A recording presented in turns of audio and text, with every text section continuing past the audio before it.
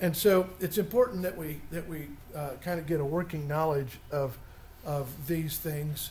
Uh, also, for the reason that we sometimes need to talk to the people that are are doing it for us to, to understand how and why they're posting stuff uh, in the places where they are posting them on our books, why they're reporting it that way. Is that the right way, the legal way to do it? Uh, is it the best way? And later, we really want uh, to be involved with them because I'm not just interested in remembering what the rearview mirror says. I'm interested in knowing how I can change what the rearview mirror says for what is looking out the windshield. How can I report gains? How can I report profit? How can I uh, establish a track that makes us healthier as a company and, and that's uh, uh, uh admired by our bank a little bit more anyway, which is doable. A lot of banks uh, are hoping, uh, but a lot of banks really make it kind of tough for us. So if you've got your hand out, we're going to go through it. A manager's guide to finance and accounting. And if you don't have one, I have one or two extras. Uh, anybody need one? Okay. Uh, I gave Jake one. Uh, anybody else? You still need one? Uh, hang on. I said I have extras. Maybe I don't. I do. I do. I do. It is. This is on canvas. Brendan, do you have one? Okay. To.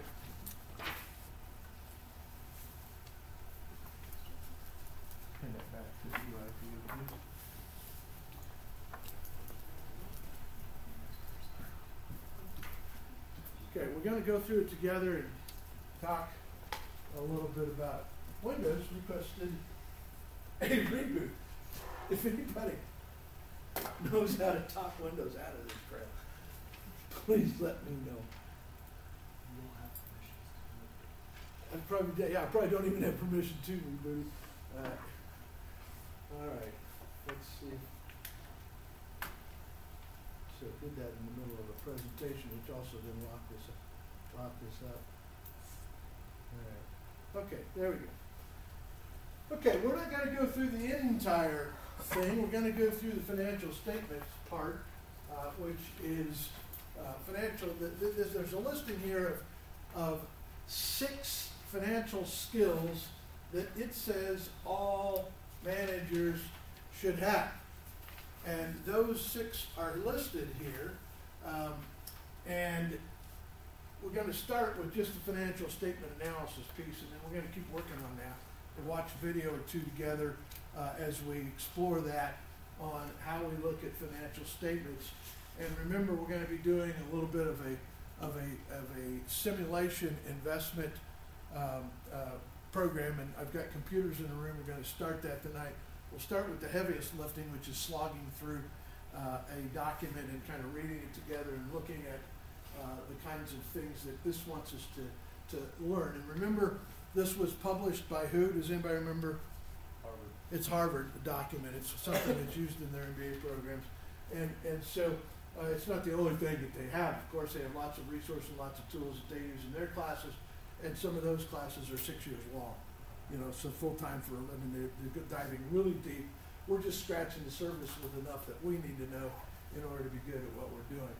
Uh, there are uh, compelling reasons, no matter what uh, field we're going in into and at what level of management we're thinking about, that we have a need to have some of this understanding. And, and so it may be that we're not driving the company's financial statements yet at this point in time in our job, our career path. But as we um, uh, look for more responsibility and more money in our careers, which is something most people do, uh, then the more skills that we have, the, the more valuable we are to the people that we work around, and if and the more probability we have of succeeding. A, a few more things that uh, that they are thinking that we ought to know um, is is is is involving should we do a venture or not, and that's called an ROI calculation. And an ROI calculation stands for what? Who remembers that? Return on investment. I think all of you remember what that is. So if I'm going to buy a new dump truck, what what is involved? You know, and and and and what are the aggregate costs and what are the aggregate benefits of doing that? And does it make sense financially? And over how long a period of time does it take to make sense financially? At what point do I get my money back for that investment? Is the dump truck worn out bef- long before it pays for itself? Or does it pay for itself quickly? And then I get to, to, to enjoy the benefit of it for, uh, for a longer period of time. That's an ROI uh, analysis. That's looking at what should we do as a business owner regarding various types of investments that we need to make. Adding people is an investment. Adding capital equipment is an investment. Bringing in a new pile of raw materials is an investment.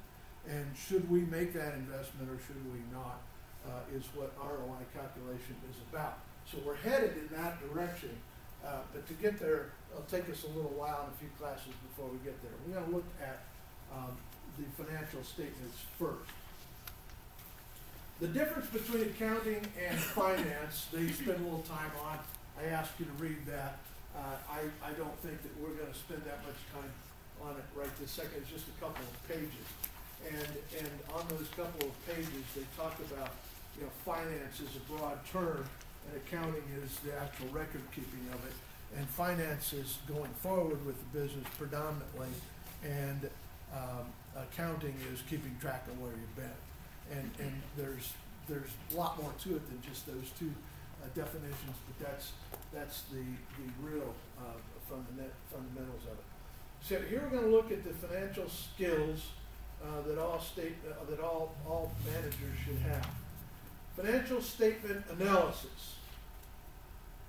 We start with the balance sheet. Not that everybody does.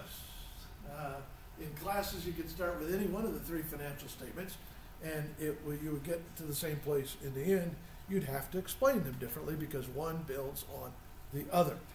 Uh, when Amazon publicly reports their financial statements, Amazon, for reasons known to Jeff Bezos and company, uh, really, I think only, I don't know anybody else, they always start with their statement of cash flows.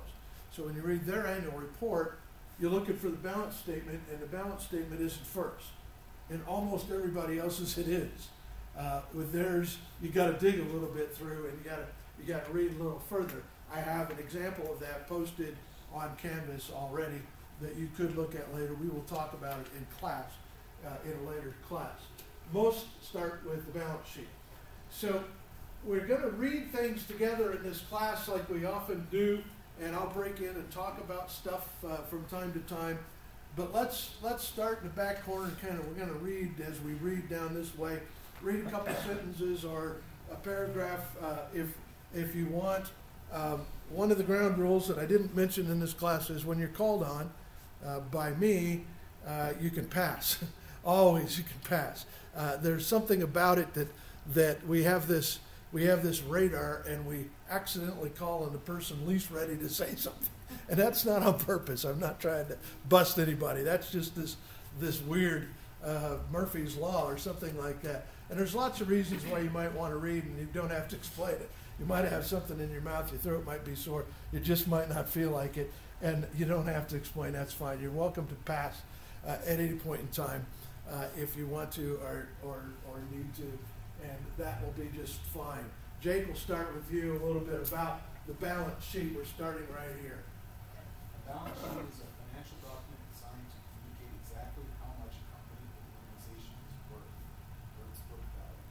It achieves this by listing and tallying all of the company's assets, liabilities, and owner's equity as of a particular reporting date. So, it's designed to communicate exactly how much a company is worth, what they call its book value. It does not do that. Doesn't say it does that, it says it's designed to do that. Let me give you some examples why. There's some things that don't show up on your balance sheet. Many owners of companies say that their most valuable asset is what? A lot of companies say the blue sky, the potential, is a valuable asset. Does blue blue sky appear on a, on a balance sheet? It's hidden, but it's often there. But uh, uh, the the true blue sky that they're hoping for, uh, it, you know, you, you you you see that if you're buying collector cars. Just give you a, a non-business example. If I like Corvettes, so I look at them all the time, and and somebody's got a picture of one in a barn that the owls have been living in for three years, and and and it's just it's a piece of junk, really, but but it has potential, right? The potential is you buy this thing and you restore it, and one just like it just sold in Barrett uh, Jackson in Vegas for a quarter of a million dollars, and you go, oh wow, this that car's not ever going to be worth a quarter million dollars. That car's been driven, it's got high miles on it, the numbers don't match anymore, and and that blue sky that the seller is trying to make me believe is just not there. And that's the way it is with many businesses. They put blue sky, and we will talk about why it's called blue sky and exactly what blue sky is. And I will tell you how to hide blue sky on your financial statements. Uh, and I'll tell you how to find how other people are trying to hide it.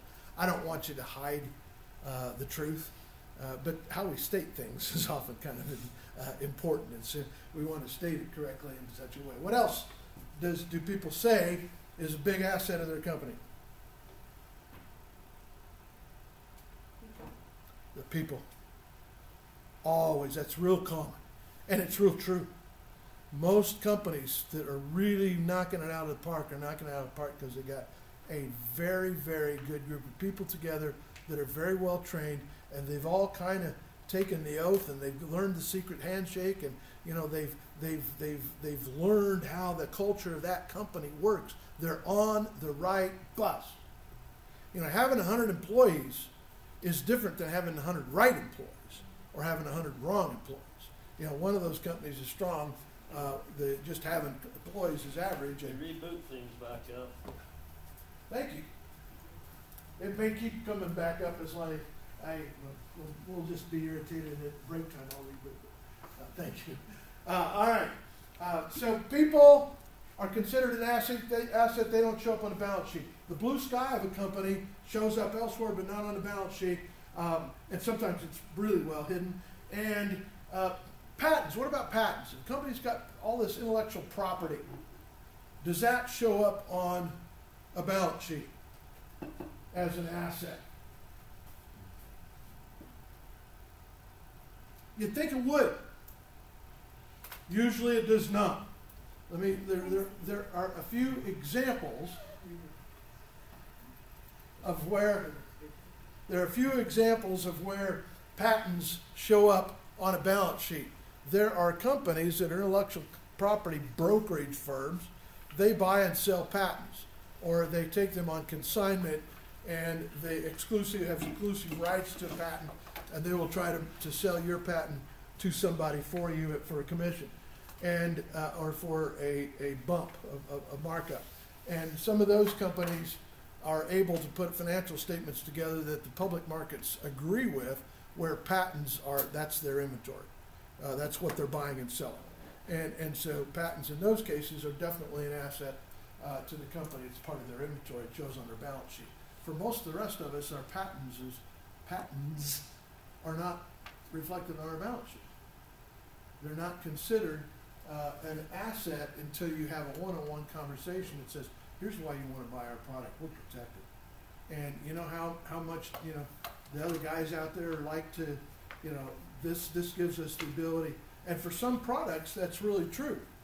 Um, uh, I worked for DuPont uh, for a while, DuPont, uh, DuPont has Teflon, DuPont has all of these, Freon, all of these names of chemicals that, that you you know but don't know don't realize they're chemicals and they owned the patents on them. And and when they owned the patent on Teflon if you're going to get a Teflon coated frying pan it had to come from DuPont. It couldn't be a Teflon like product. Now that's changed now because those patents have expired. They've redone some of them that's why Freon 22 is Freon 12 and Freon 28 and Freon 32 and they have all these new Freons which uh, in some cases are only there to establish a new patent life of 17 more years of uniqueness in the marketplace, or seven, or depends on what type of patent it is.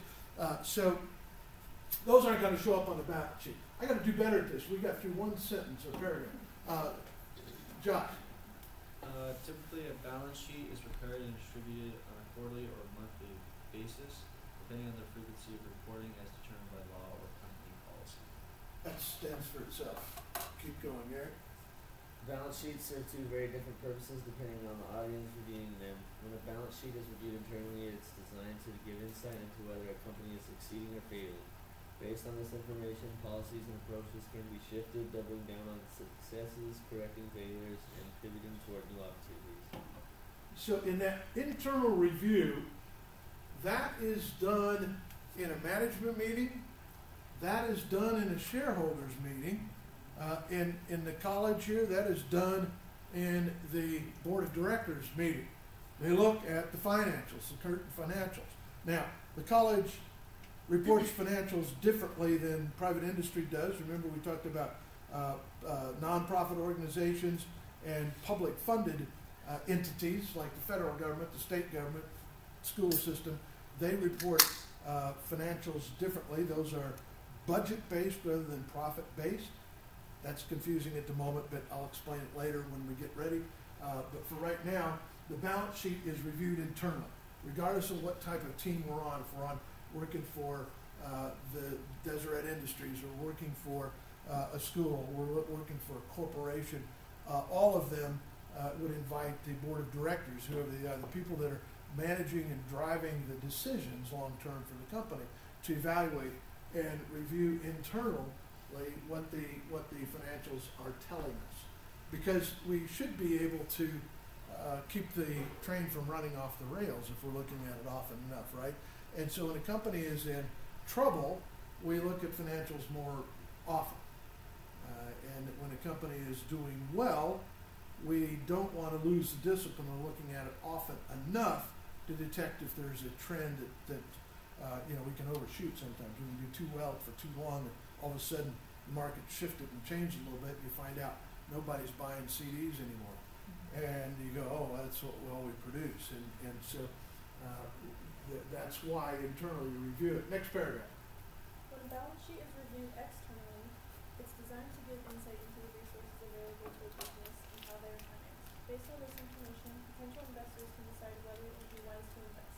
External auditors might also use a balance sheet to ensure company, ensure a company is complying with any reporting laws, etc. So there are whole groups of people that have a title on Wall Street. Wall Street's in Manhattan, right? It's the financial community, it's the term we use for the financial community. And Wall Street jobs are worldwide. They're not limited to lower Manhattan or west side uh, Manhattan. They're everywhere. But one of the most common jobs in, in Wall Street is that of a financial analyst. You've heard that term before. We've seen movies, financial analyst. What does a financial analyst do? Analyze finances. You're all right. They, they, oh, here we go again. Don't reboot it. Um, they do this. They do the external analysis, and why they do the external analysis uh, is various reasons. But we in the public market that think we have money that we want to invest many times don't have the, the hours, the available time, the knowledge, experience, uh, or the team to look into deep under the hood of a company. And so an analyst will take that on.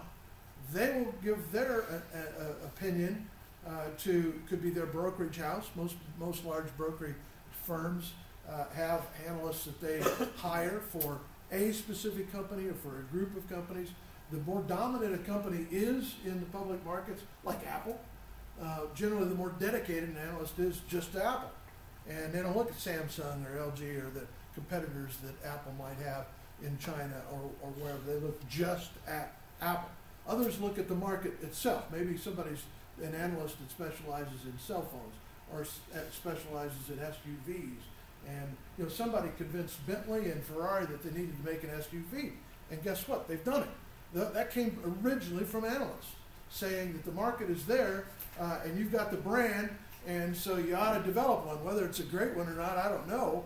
Uh, there's some there's some people in this town that own Bentley SUVs, and and they're just stupid expensive. That's all I know. I don't know if they're awesome or, or not. But analysts drive those kinds of pieces of information about what the market appetite is from an investment perspective and from a product evolution perspective. So analysts have a louder voice than we realize in the world around us. Not just in looking at, uh, and they look at more than just the, the balance sheet, but we're, we're pausing here for a second saying that is accrued. We, we also have uh, analysts that look at types of startup companies. There's penny stock type companies, which we haven't talked about yet, but uh, companies that are just barely getting into the active trading market and, and their stock is selling for cheap. We have we have people that are looking for what's the next home run opportunity in that in that puddle of companies. They're not related in terms of market types or product lines or anything like that, services that they offer.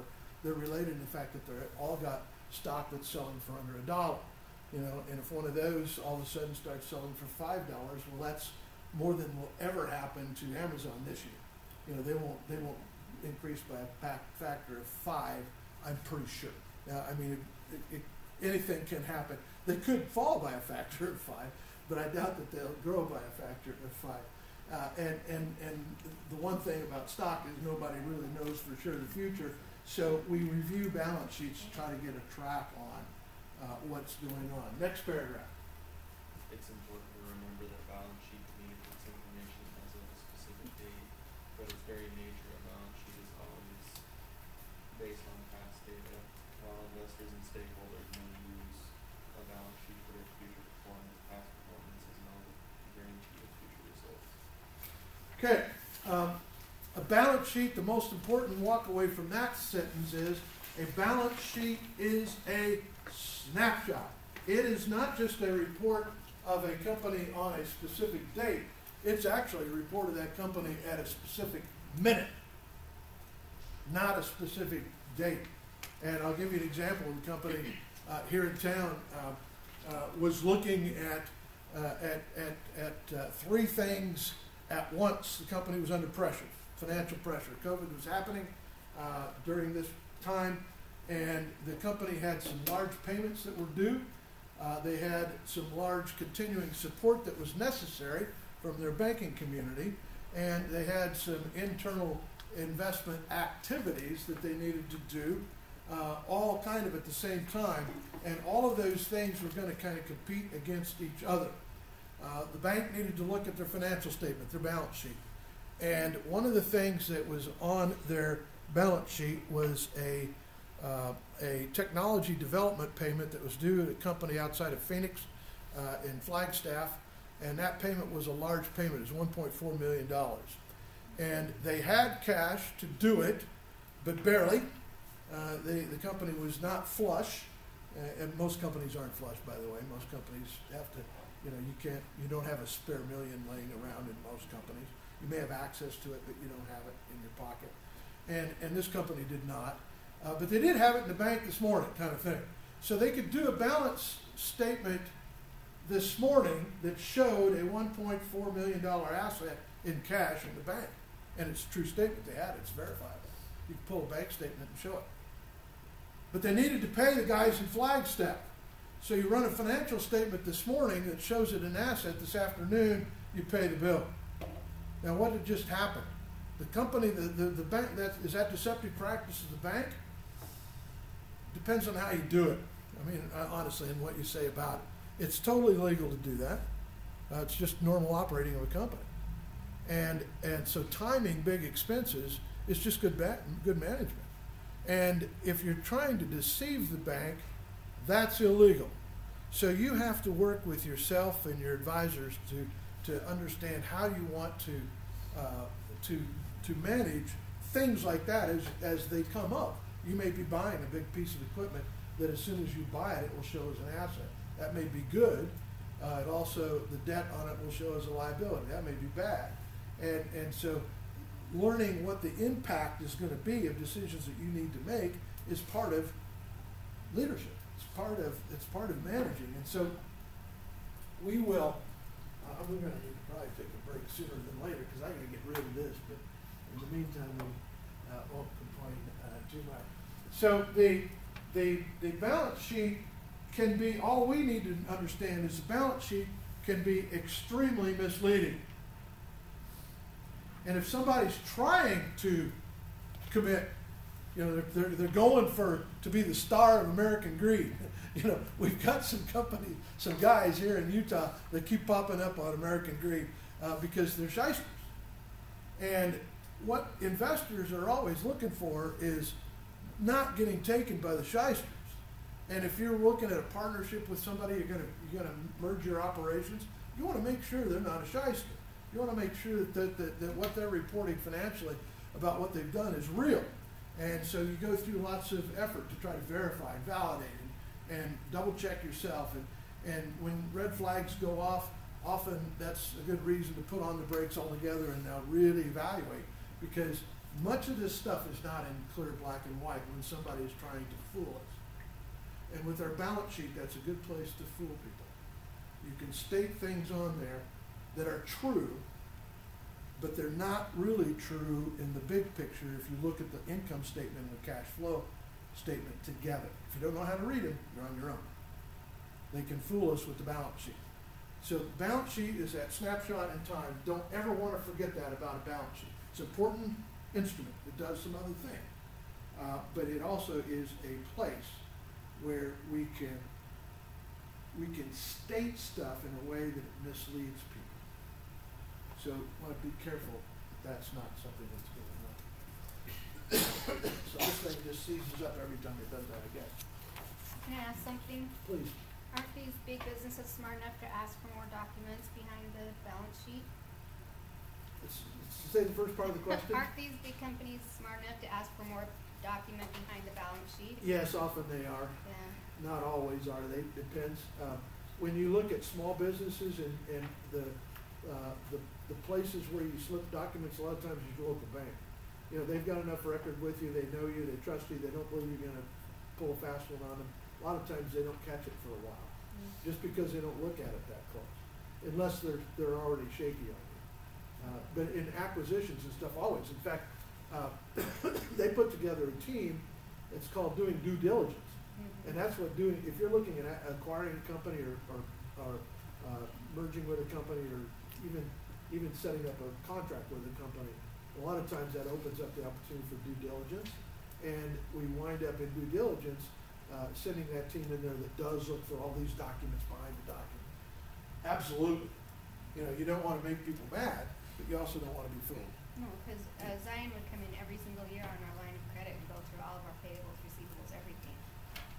And I would think that the company buying your company, with the value being on the balance sheet, you would wanna do that. I went through a period of time where Zion, the same bank, came in and, and audited uh, my my stuff every other week.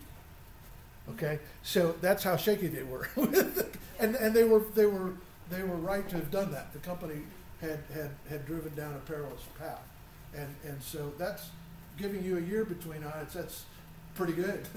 We don't, we aren't with them anymore, cause, and who we're with now, it's a lot easier. I've heard that story a lot of times. A lot of times. Uh, Zions was kind of one of the one that really pushed Cabinet Tech under the under the bus. Uh, in in in not that they were wrong, but those of us that were, we talked about Cabinet Tech in this class, and uh, uh, Cabinet Tech went down much at the pushing of Zion. That, that, that's that's another story, and it doesn't matter at this point. It's ancient history, but uh, anyway. So contents of the balance sheet. Let's do this faster. I'll talk less. Where we at? Mindy? Uh, the information in a balance sheet is most often organized according to the accounting equation, assets equal liabilities plus owner's equity.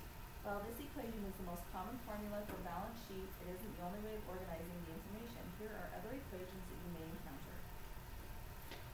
Shall we read them? Yeah, go ahead. Okay, owner's equity equals assets and liabilities. Minus the liabilities. Oh, minus liabilities.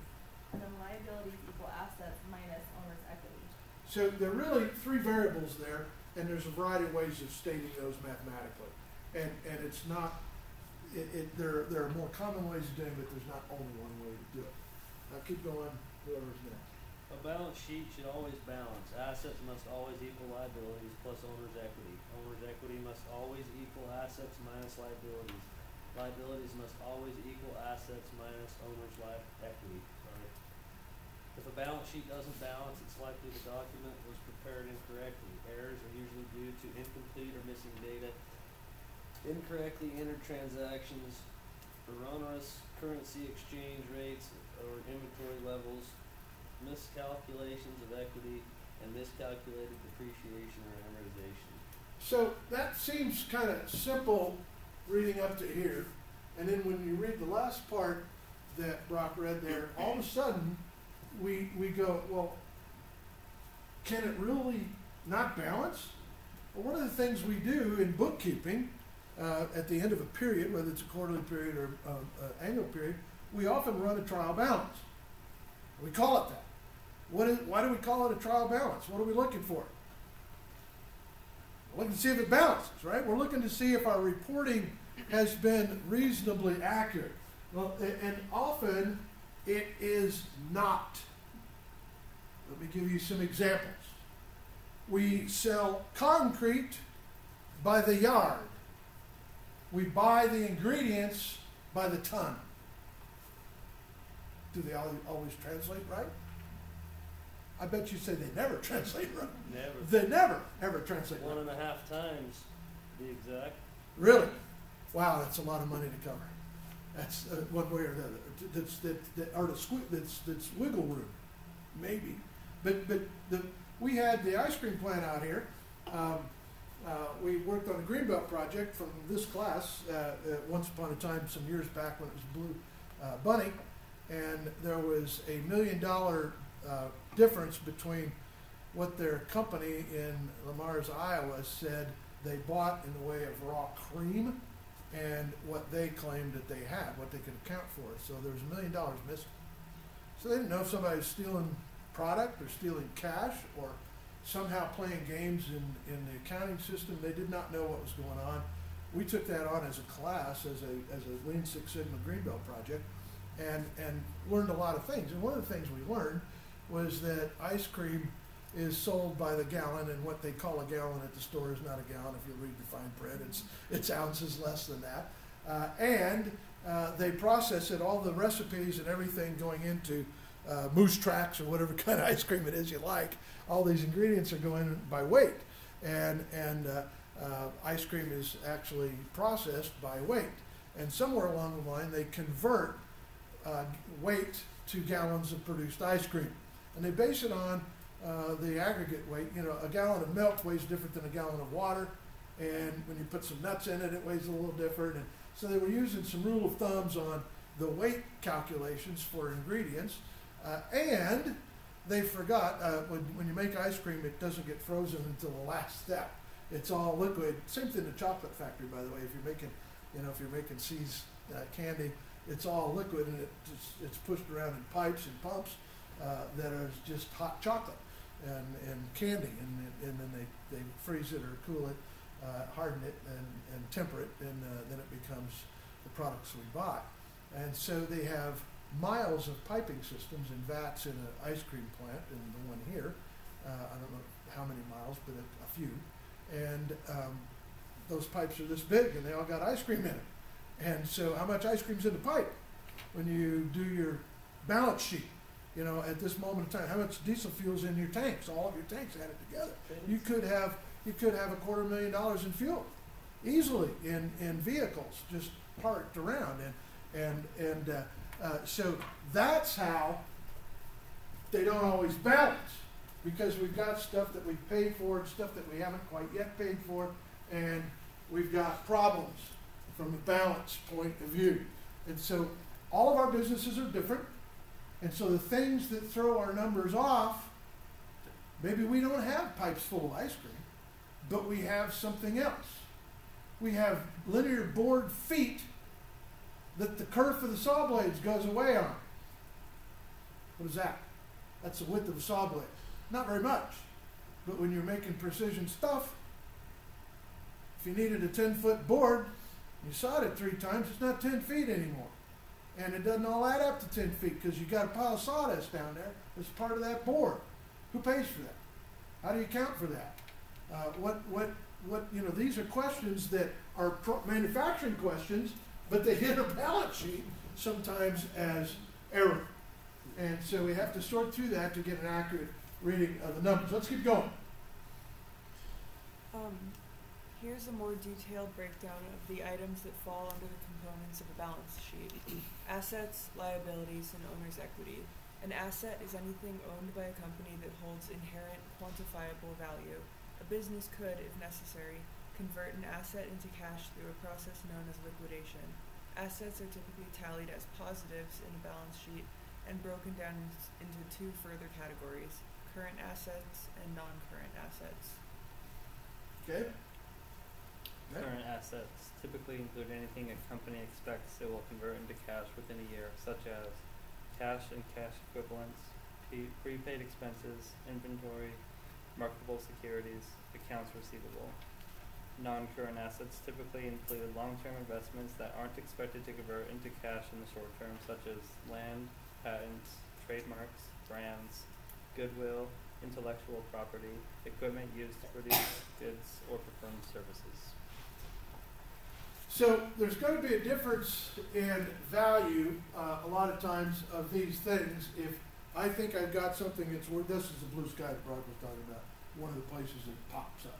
If I think I've got something that's worth a ton and ton and ton of money, the bank just might not think so. They may not think that if they foreclose on my business, that they can go to a, a liquidating sale and sell that asset. And, and so the bank will discount the value that I put on an asset. So one thing to understand that uh, is the difference between current and non-current. We'll talk about it with assets. We'll talk about the same thing with liabilities. This is important for us to know. Current is generally agreed to be stuff that's going to happen in the next year, in the year. So it's the, the, the, the, the horizon for a current liability or a current asset is one year. Generally, that's accepted. Uh, so things beyond a year are called long-term. Now, there's a reason that we need to know that because sometimes pushing something from current to long-term is to our benefit in the business. Sometimes converting from long-term to current is to our benefit as a business. And notice they don't use the term long-term, I said that one. You'll see it on financial sometimes, but non-current is kind of their agreement to, because we don't know what long-term is. The Chinese think long-term's a thousand years. And, and, you know, uh, I don't. My long-term is, you know, till tomorrow night. You know, so something in between is the true agreement. Uh, so, in accounting perspective, though, there's a lot of things that I have that could, if I'm looking at current assets and the bank is is is concerned about my current assets, then I might push things that really it could be long term into current, and that's a way that I'll have it uh, to to to bend the financial statement a little bit more favorably to me sometime. Now that that has a cost with it, which we'll get to when we're doing it. We're going to do this with some examples later, uh, and and uh, we'll see kind of what those costs are. The we have marketable securities. That doesn't mean much to most of us uh, at this point in the class.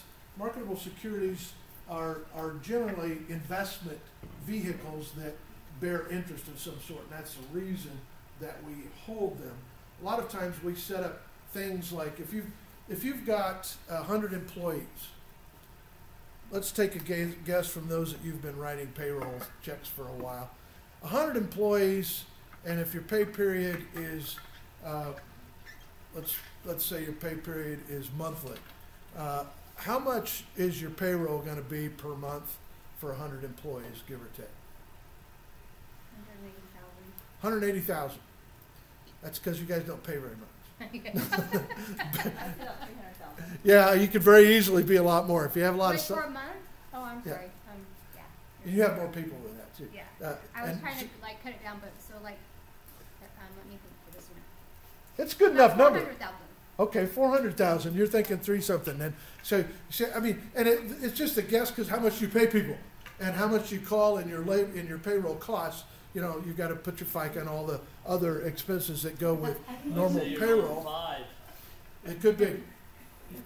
Could very well be. So it's a big number. Um, when you've got that big number, do you want to keep that in cash in your bank, even if your business is, is generating good money enough for you to have 100 employees? It's a big number you got to have in money to pay their paychecks. It would be not wise to have it in dollar bills sitting in your office, right? For a lot of reasons, those dollar bills are, are, we've got inflation going on and buying less and less at the end of the week. And sometimes inflation, by the way, does factor into our financial statements. I ran a plant in Sao Paulo, uh, Brazil, uh, during a period that Brazil was going through absolutely incredible inflation. And it was, it's something I, I'd never even experienced that before. And we wound up, we had a, we had a union group, uh, most of the plant was non-union. We had a union group that drove uh, us having contracts, and and they required us to have a multiplier. So people that all the people that work for us, even the non-union people, all the people that work for us wind up wound up having a different pay on Monday than on Tuesday, than on Wednesday, than on Thursday. The inflation was so fast and, and so crazy uh, in Brazil that, that we had to adjust the amount of the pay. So doing payroll was a nightmare under that, and, and, and managing the labor costs became completely a different mathematical game than I'd ever experienced before. And, and anybody else on our team, it was public, I was working for Norton Corporation at the time, y'all know Norton from the abrasives uh, field of business, and uh, uh, sandpaper and that kind of stuff. We competed with 3M.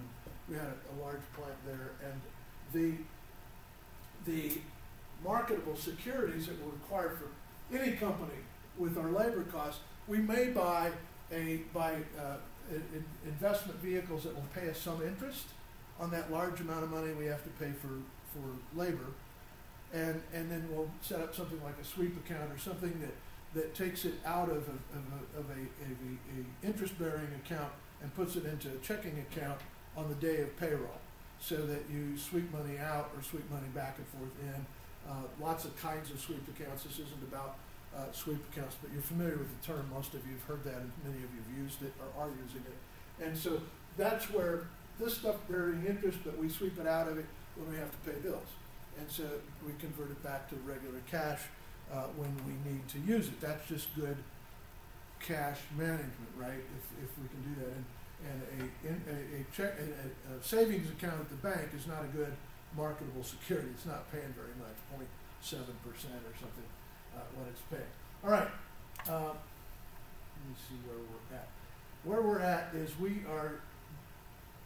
Let's finish liability. Let's finish the balance sheet, and then we'll take a break.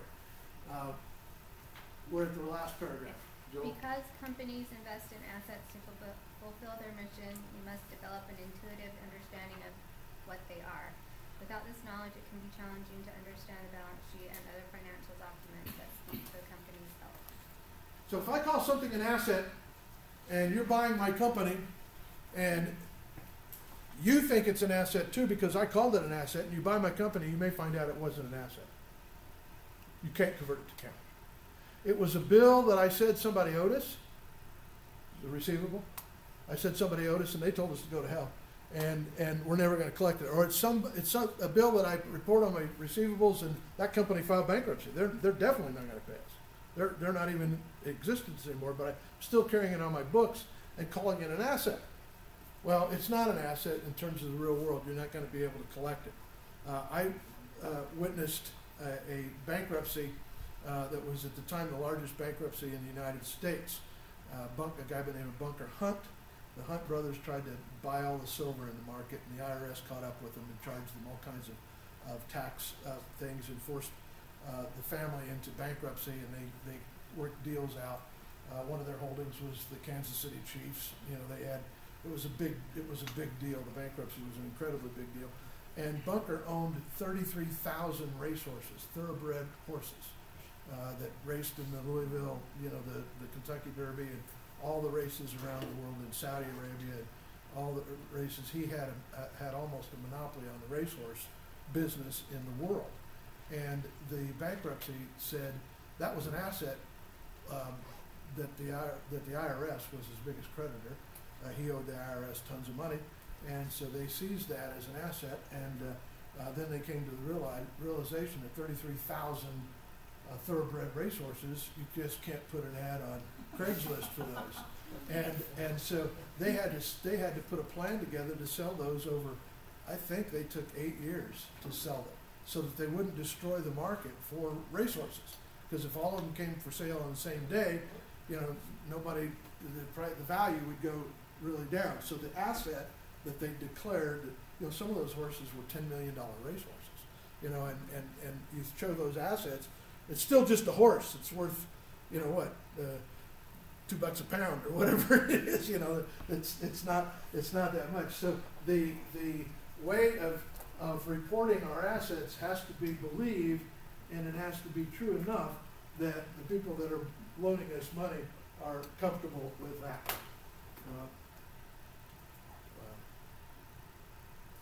All right, let's see. Okay, let's, let's go through liabilities real quick.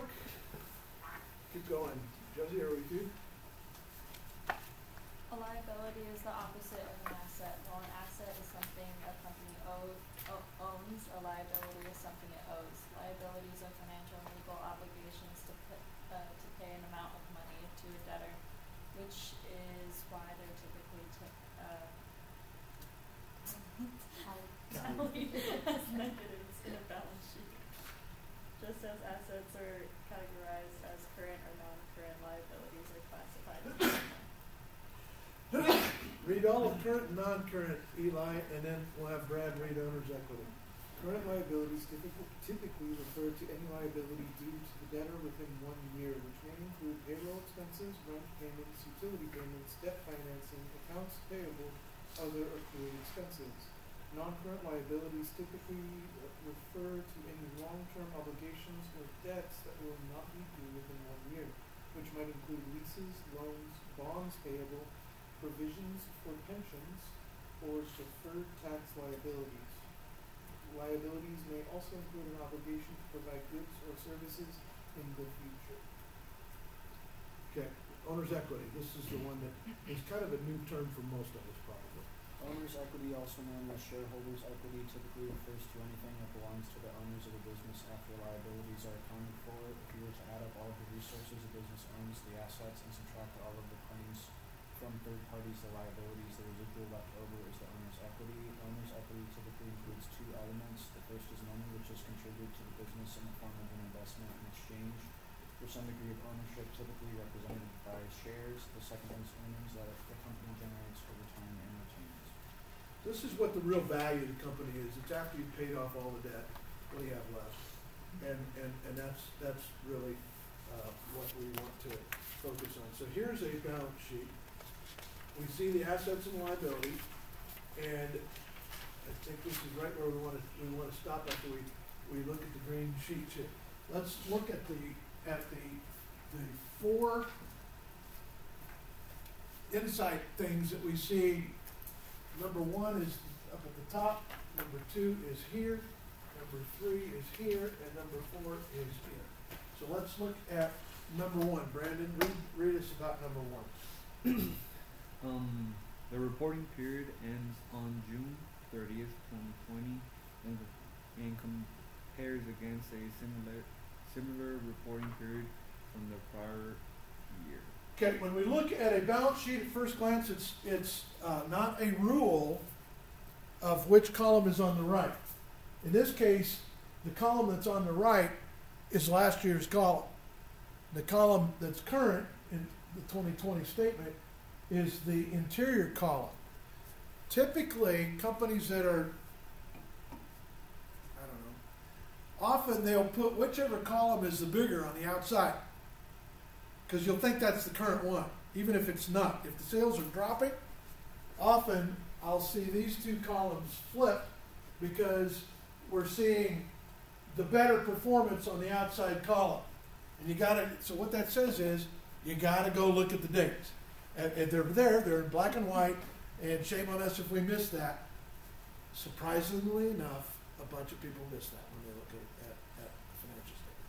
Number two, back to you, Jake. The company's assets total sixty thousand one hundred and seventy-three dollars, including thirty-seven thousand two hundred and thirty-two, and current assets twenty-two thousand nine hundred and forty-one, and non-current assets. Okay, where do you see the thirty-seven thousand two hundred thirty-two? You don't. You have to do the math. It's this number minus that number. Right, and if you don't do that, uh, in this case, it doesn't matter, it's a pretty decent asset. Uh, often, if, if the, if, if, if what is current is dismal looking, they'll for sure hide that number. It'll be there, but you'll have to do the math to see it. And, and that's kind of a deceptive idea, but, um, it's up to us to learn to read the financial statement see what it really is saying. In this case, the, the thirty-seven thousand, a pretty good number, they ought to list that they could, wouldn't have any problem, uh, putting another subtotal in the middle there, or put it in, off to the side, so that you could see what that number is. But in this case, you gotta do the math. Number three, got it. Oh, I'm so sorry. Uh, the company's liability total sixteen thousand three hundred thirty-eight, including fourteen thousand ten in liabilities and two thousand three hundred twenty-eight in non-current liabilities. So once again, you might have to do a little reading to kind of sort out what this, what's included there. The fourteen thousand of it, there is no number that says fourteen thousand.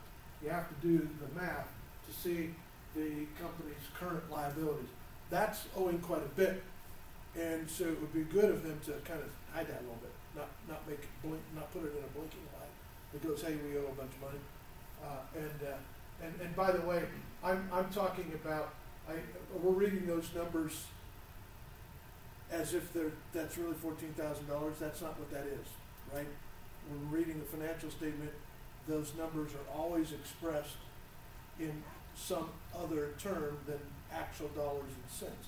In this case, it says at the very top, one dollar equals one thousand dollars. So what that says is, the company's liabilities total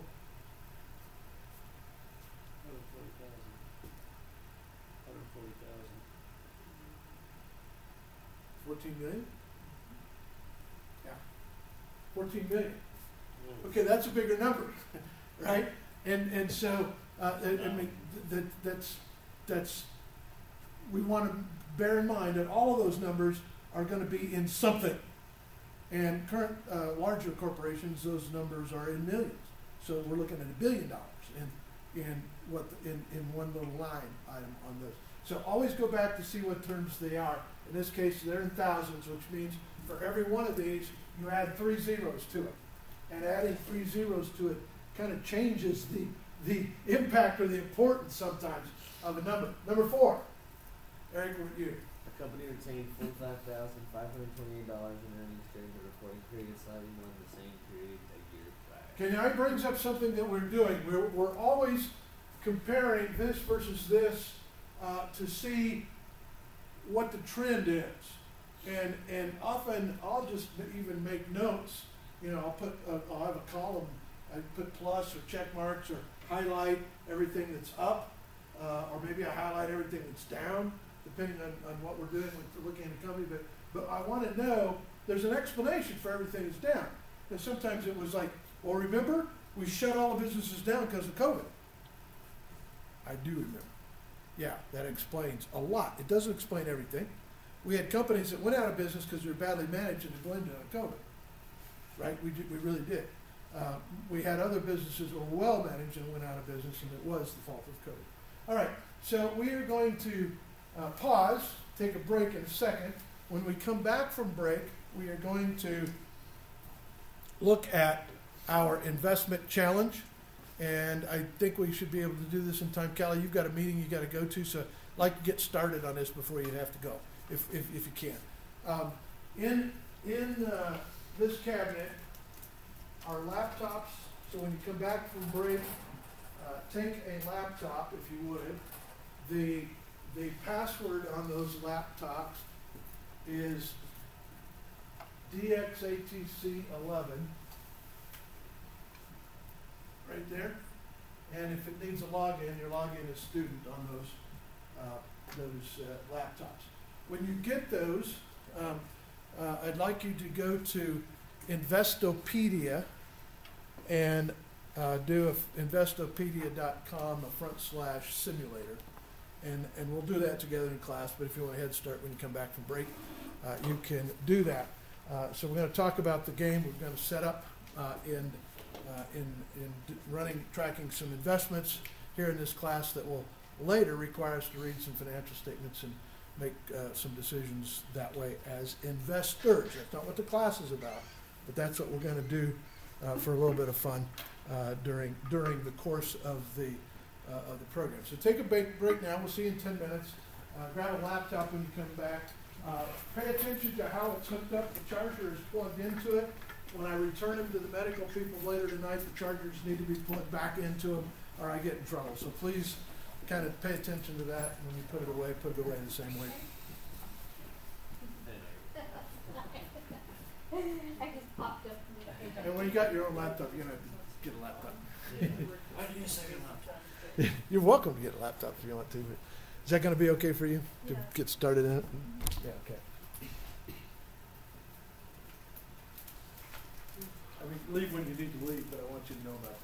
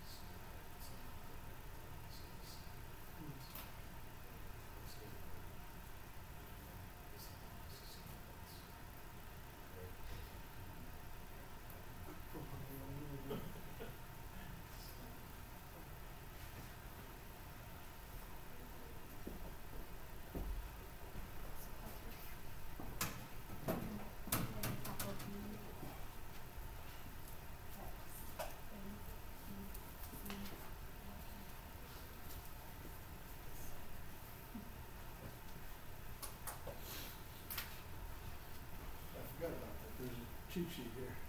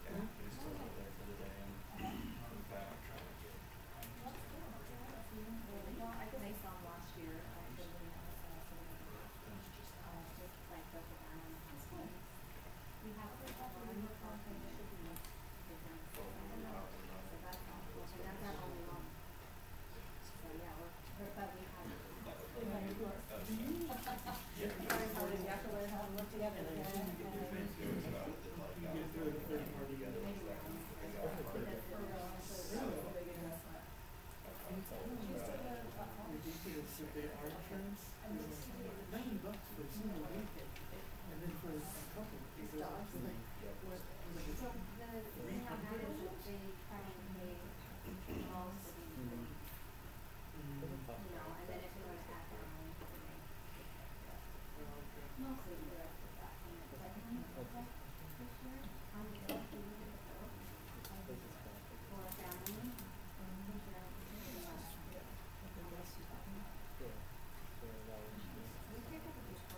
Yeah, me too.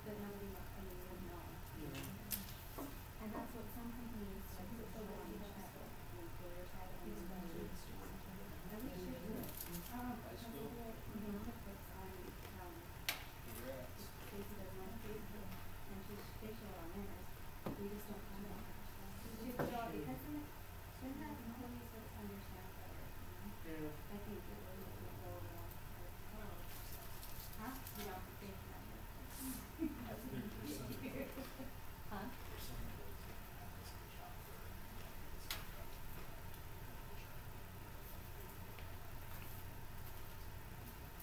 Yeah. Mhm.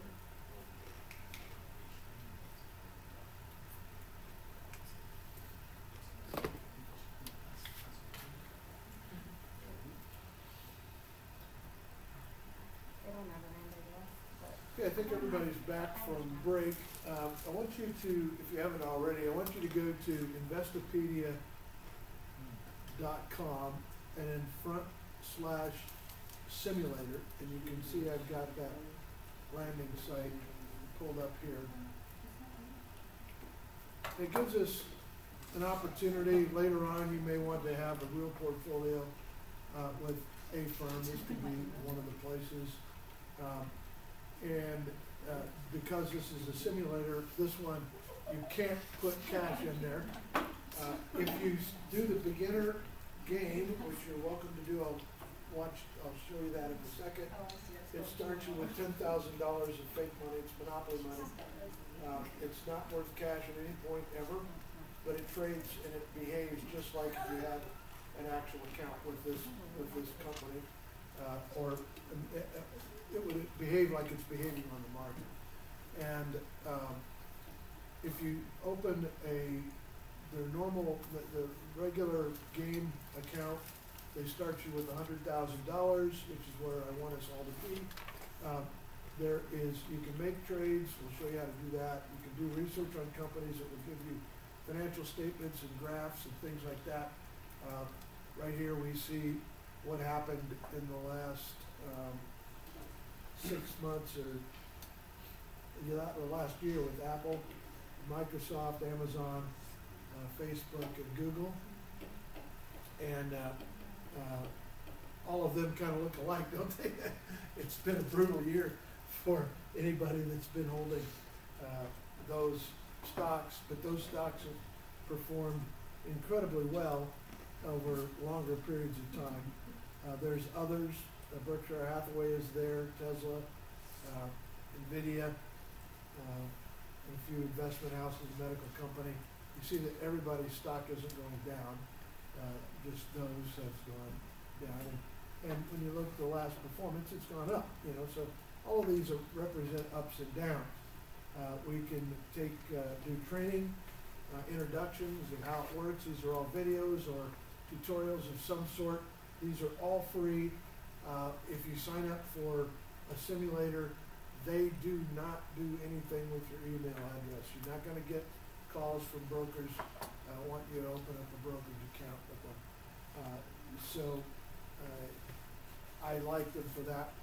Some of the others, they, they pepper you with, uh, spam. And then it gives us option to join games, and there's lots and lots of games, uh, that are, that are there. Uh, there's a leaderboard of like some games that have been going for a long time. Uh, uh, thought I could go that way. We could create a game if you want to, we can join a game. And I'd like you to join a game. This is a list of games that are active now that you can compete with, and you can do that, uh, on your own. Um, uh, there's twenty-one thousand games that are underway at this point in time. They started, uh, some of them have have ended, but most of them have no end dates. Uh, you can see that first one, the beginners by simulator, there's a million people playing that game right now. Uh, and so you can do that and be one in a million, uh, see how you perform against other people if you wanna do that. We are doing a game in the house here, uh, where we would, uh, say, join the game and look up, Dixie Tech Hey Steve, I don't know if it's my age or what, but I can't get into mm-hmm. that. Yeah. Really? It's not your age, I can tell you that for sure. Okay. Cause, cause I'm, I'm in, so it's not that, I don't know. Is anybody else having trouble getting to this spot? Mm. Why don't, why don't you kinda, I think. I can't even sign in. And mine just says, it keeps taking me to stock market simulator, is that, like, this is what it is? I don't know who's stuck, that, if that's invest, Investopedia or not. Mine I'm, I'm is suspicious a little bit. Investopedia Stock Market Simulator. Why don't you, yeah, uh, Okay, I didn't even. Brad, come over and, uh, Brad. I had to make an account in order to go and see what, are you logged in? I can't even log in. Yeah, from the- Yeah, you have to like Maybe get it from- Okay, so you just had to make an account? Yeah, I can get the page. Register if I wasn't. Okay, okay. Is that the password, the capital D X A T E That's, that's the ATC. password for, uh, the laptop itself. So, Yeah, and I and can't, if you, it won't let me get in. It's okay. DXATC. D X A T C. Yeah, one one. There you Thank you. I was like, oh. So once we get in, uh, and, and this is the Dixie Tech Financial Management game. all of a sudden I wanted it now that you. So you, you created a game? I created a game, Dixie,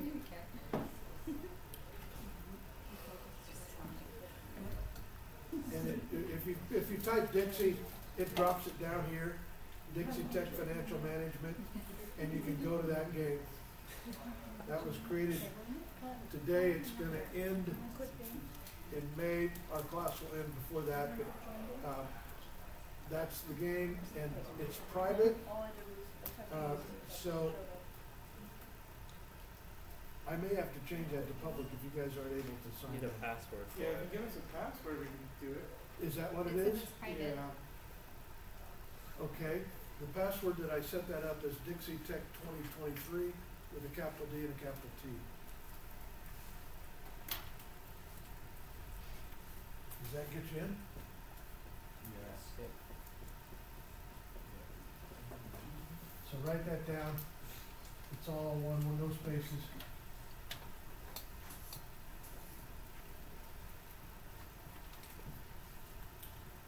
And you can trade just like in the real world, as often as you would like. You can trade even when the market is closed, which it is right now.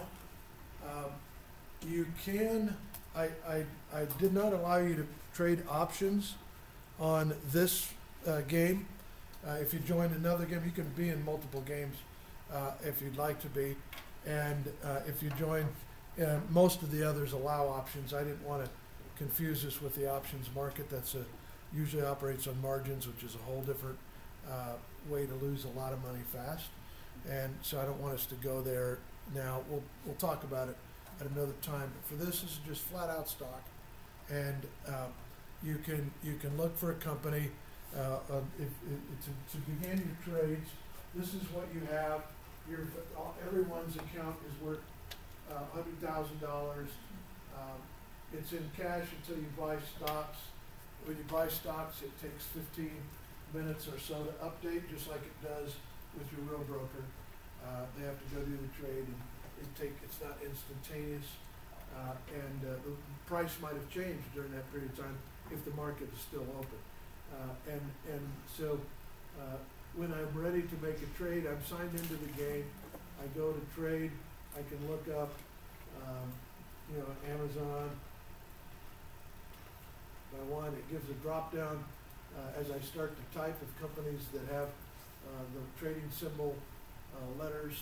And this gives us Amazon. I click on the company and it tells me now, um, what's happened. This is, this chart that it shows here, that's the chart for today only, from the open to the close of the market.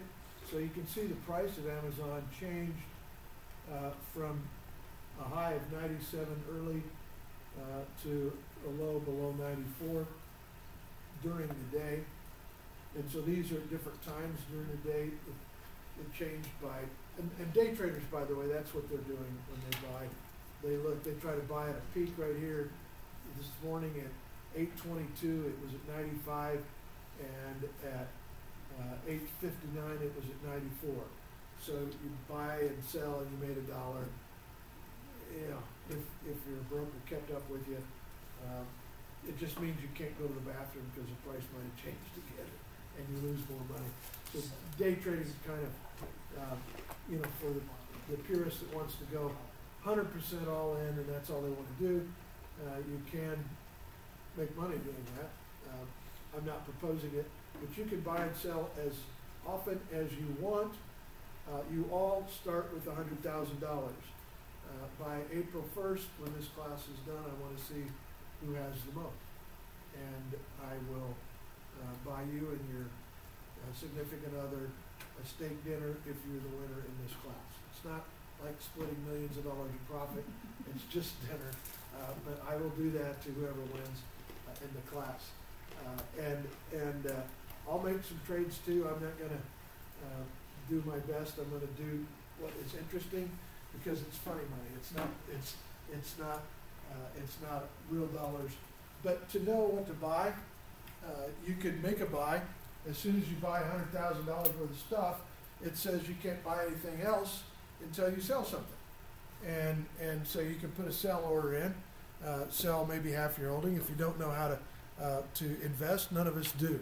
Investing is a guessing game, and Warren Buffett, uh, is, is one of the more well-known good ones at it, uh, but he has a lot more money to throw at it. And, and so our purpose here is, I, I, is not to discount the luck factor. Our purpose here is to, to look at companies and think, why would we think they'd be a reasonable investment? And you can Google all this. We've got a lot of smart people looking at it. You can buy, uh, in, in your investment here, you can buy a mutual fund or a collection of other stocks that uh, is indexed to, to something. It could be indexed to oil prices. It could be indexed to uh, uh, to COVID-related products. It could be indexed to anything that somebody has put an investment uh, instrument together. Uh, you can you can buy those just like you can in the very very real world. And and so I'll keep track a little bit of how our winners are are, are floating around. You don't have to buy or sell every day. Uh, but I do want you not to keep the hundred thousand dollars in cash. Uh, that's generally not the best investment. Uh, however, uh, you can lose you can lose money doing this as well. So uh, I'd like you to to consider that, and if you want to partner up with somebody else and, and go go together, um, uh, you're welcome to do that. Just however you want to choose to do it. Any questions about getting signed in and logged in, or what we're doing? okay, I'll check with you on Tuesday and see if anybody's having uh, difficulty, and I will see if uh, we all at least are actively investing in, in, in uh, uh, we, at some point, we'll have a little bit of a recap of what have we bought and why did we buy it. And, and uh, I'd like you to be prepared. If your reason is you looked it up and somebody on with some brokerage house said that was a great investment, that's fine. Just document uh, where your information came from as to why you invested where you, where you did. so I'll further ask, why do you trust them? What's their record been? You know, are they, are they trustworthy? Are they, do they have a track record? Do they know more than you know? It's chance, there's a chance they don't. And, and so if you say I invested in them because I looked at their numbers and they got a lot of cash in the company, or they announced they're going to do this with uh, their money. You know, Facebook made an announcement about six months ago, and their market, their stock value plummeted because the the market said, "I don't think we agree with what you announced you were going to do," and so everything Zuckerberg has done hasn't turned into gold. And, and, uh, uh, in, in, in fact, they're facing a, a fair number of, of questions at this point in time from the public markets. So why would you put your money into this company? That's more of what I want us to have an understanding of. What do you like about them? Is it the product or do you like something? Uh, their financial statements are available here with just clicking. You don't have to do, you don't have to leave this uh, Investopedia. They've got the, the charts and the uh, ratios and the things, whatever it is that you pick up on. If you like retained earnings, as we talk about, uh, that you, that you, you like their trend on retained earnings, this will give you that information and you can make an investment choice based on that. So with that, uh, that's enough for class on this. I want to wrap up with a couple videos that talk about, we're gonna, we're gonna, we focused on the balance sheet today. We will look at, uh, the income statement, of course, uh, in another class. Uh, right now, we're gonna look at, uh, uh, two videos, and that probably will take us, through the class on, uh, one on, on, uh, the, the, the task we have at hand of buying and selling some stocks. And, and by the way, with this, you can put a short, uh, you can short a stock, just like you can on the market. If you don't know what that means or you've never done it, look it up. It means you are selling something, betting on it, the price going down. And so if you see a company that's in a train wreck, and if the market hasn't already halted on that, that stock, you can buy it and short it, uh, meaning that you wanna make a profit on them losing further value. Uh, that's a legitimate way to invest. Uh, it's, uh, it's risky like all of them, are. It's not any more or less risky. Uh, all of it is a guessing game. Uh, and I'd like to see it, you have some data on it. Otherwise, we should just go to Mesquite and put money in red and black, right? And maybe you can make money that way too. Uh, that might be more fun, actually. I don't know. Uh, but anyway, uh, let's take a look. Uh, we're gonna we're gonna look at how Warren Buffett uh, uh, considers the people that make mistakes, what they look at, and what he doesn't look at. So we're gonna we're gonna watch a video on that. But first, we're gonna wa- watch one on the idea of analyzing financial statements. So, what do we look at as we analyze a financial statement? And this is from an accounting guy. This is so he's talking to us that aren't accounting guys, but this is he's been a controller of a company, and so we'll take a look at this. He's going to tell us a little bit about uh, uh, Tesla as well. Uh, so we'll, we'll watch that. I may interrupt it.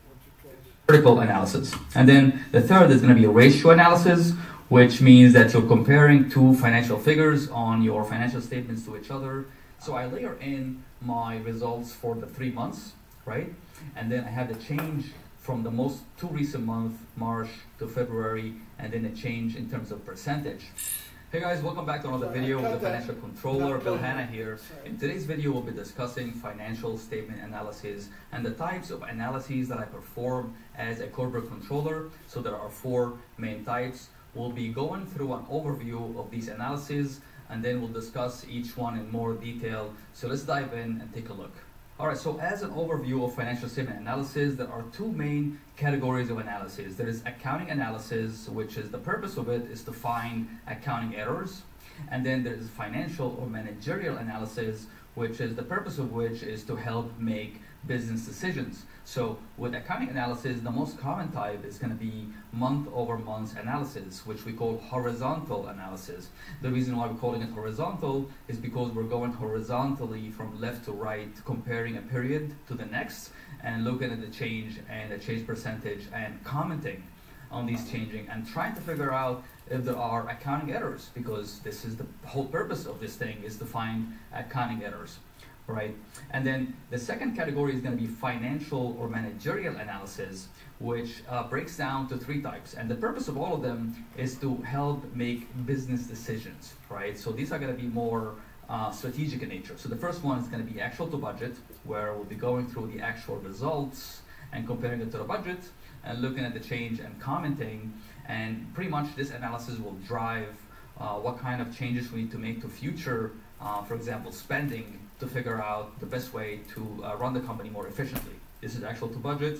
Uh, the second one is going to be vertical analysis. So vertical is as opposed to horizontal. So remember here we said horizontal, we're looking left to right. Well, with vertical, we're going top to bottom, right? And the reason is that we're uh, measuring line items on, say, the income statement as a percentage of one of the line items on the income statement. Most commonly, you're measuring expenses uh, to the revenue as a percentage, right? So we'll go through that as an example in a minute. This is vertical analysis. And then the third is going to be a ratio. Give uh, just pause for a second. On the vertical analysis, if I'm, give you an example, if, if I'm looking at a restaurant's financial statements, uh, I'm gonna go to their income statement, and there's a magic number that is just my magic number, and I don't know that it's, that it's an industry's magic number. But my magic number is I will look at how much they spend on food, buying raw food from the provisioners, from Sysco or whoever their source is for the food that they sell that goes into the restaurant. I will look at all together, the amount of food they bought. If it's more than thirty-eight percent of the food they sold, the dollars that they sold, they're spending too much on food or they're throwing too much food away. So they're buying food, they're not actually converting into sandwiches or meals that they sell. And that's pretty true for just about every kind of restaurant that I've, I've had the experience of looking at. And those numbers would be a different number for your business based on what your business, I'm looking at excavation, there's, the raw materials is not the main part of your cost, it's other stuff. And, and, and, and, uh, um, so we look at efficiency based on another number and the vertical analysis, based on the industry that we're looking at. So there's some rules of thumb that we would find for your kind of business. Structural steel is a large industry in the United States. We have two people in this class that are in the structural steel uh, arena. So that company's performance is easy to compare with other national companies to see some of these vertically, some of these percentages. What percent does S and S Steel spend on uh, uh, grinding and blasting and versus other competitors? So that's a prep thing going into before you're welding. And, and are we in line with what others are doing? Restaurant even look at that number. But in doing an analysis, that should be lined out. The cost of, of beam preparation is a cost that I might have to dig for, but I can see if we're in line or not in line. And maybe it's one of the major costs because it adds no value. If you weld well in the first place, you don't have to clean it up. Right. Steve, I have a question Sure. On that topic. So, where would be a place, because, yeah, I have some excavation buddies, but they really don't wanna show me their income statement or their financial statement or what, so where are some sources, avenues you can go to maybe find some of those analysis Yeah. or? The, I, I love the question because that's the part that excites me the most is that we aren't in the blind and our banks know where to go and most of the time we don't. So we don't know until we go in and talk to the bank and then they. And we're going, well, hold on a second. Um, one of the, one of the places, uh, that we will, we, we will spend several classes talking about this. Okay. And we'll pass them out, I'll show you how to read them, and this becomes, will be one of the biggest tools that we'll have, because we need to know what are other structural steels doing, what are other gravel pits doing, you know, and, and how do they, uh, auto dealers, if you're, a if you're a car lot, you don't wanna compare to a hardware store, you wanna compare to another hard, uh, car lot. So, the, there's a national company that's called RMA, and RMA data is, is, they, they are the, one of the, they're not the only one, but they're one of them that, that, that I use, and that did, at one point in time, it stood for Robert Morris and Associates, and they later, uh, uh, called it RMA. And RMA publishes data, uh, that looks at companies by, uh, by SIC code, SIC code, and then it looks at them by, uh, gross volume, dollar volume, and it looks on by, uh, assets. So you can compare companies that have as many assets to you, uh, those aren't always the same companies that are selling the same amount of, of top line dollars that you're selling. But we gotta know that data. Spot on question. Glad you're thinking in that term. And, and we're gonna dig it up for each kind of industry that wants it here in this class, and we'll go through that, so you'll have a tool to take home to look at your real numbers.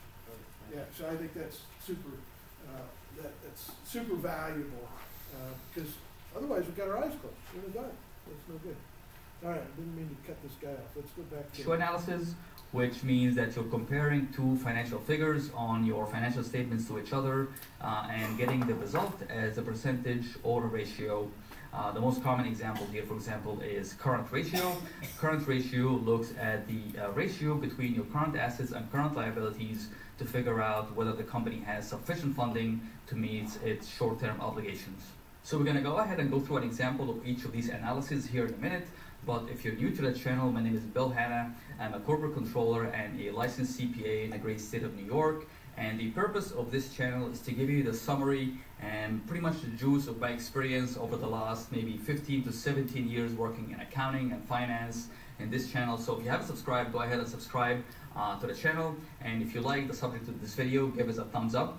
That will help the channel reach more viewers. Thank you in advance.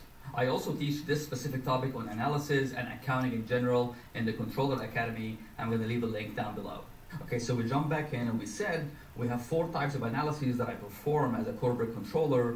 One is an accounting analysis, and then three of them are going to be financial or managerial analyses, right? And if you stick around till the end, I'm going to tell you exactly out of these four which are the most commonly used types of analyses that are must-have for any corporate controller.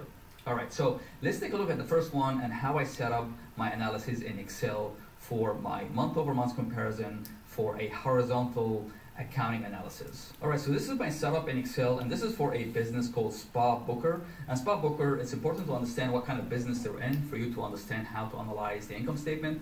So Spa Booker is a platform, an online marketplace that connects the consumer on one end and then the spas on the other end, um, where the consumer can go in, in the mobile app and set up an appointment for a spa treatment. It's very similar to the concept of Uber or Lyft. Uh, so it's an online marketplace, and then Spa Booker sits in between the consumer and the spa place uh, and makes a commission on each of these transactions, right? So let's jump back in. All right, so we got the income statement uh, for three months for January, February, and March, right? And I like to have three months periods where I'm comparing March to February, but then I like to have January also as further context. So, for example, you know, if I see that my revenue went up by 22% in platform fee between March and February, I also had like to have January in here so that I can have further context into what happened in January, and then I can see the story of how the revenue is developing month over month, right? So I layer in my results for the three months, right? And then I have the change from the most two recent month, March to February, and then a change in terms of percentage, right? And then I have here my comment column where I'm, where I'm providing my commentary.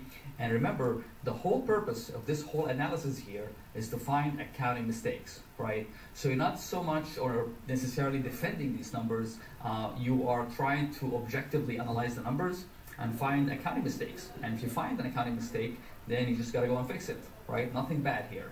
Is that you finding accounting errors that could happen during the month end close and then going back to fix them. I did that with a uh, medical practice here in St. George, uh, plastic surgeon. Uh, some of you would know the name of, uh, well, well respected, well known. They're looking at uh, their numbers as a practice to look at their, you know, how could they run their business a little tighter. Two physicians in, in the group, and in running this analysis, we find out that one of the more common procedures that they do, they do tummy tucks and, and all kinds of plastic surgery procedures, uh, esthetician kind of stuff, uh, and they do uh, breast augmentation.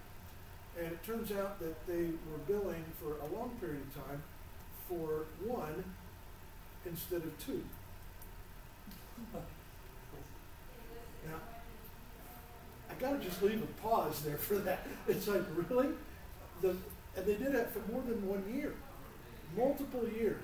The practice was billing half as much as they could have been billing for breast augmentation. On rare occasions, they do one when there's, you know, uh, cancerous reconstruction or car accident or something like that. But most of the time, it's two at a time. And to miss in your counting team,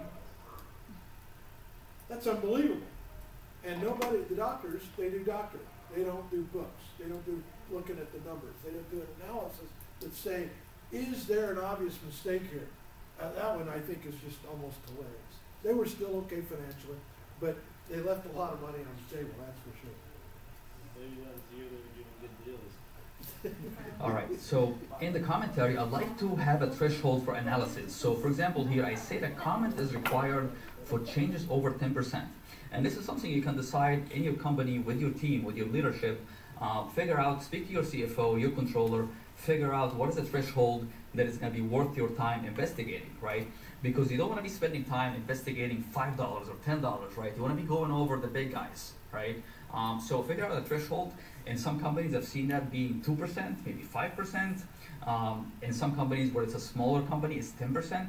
Just figure it out the percentage that makes sense and they go over the commentary over the variances that are over this percentage. So in this case here, we set up 10%.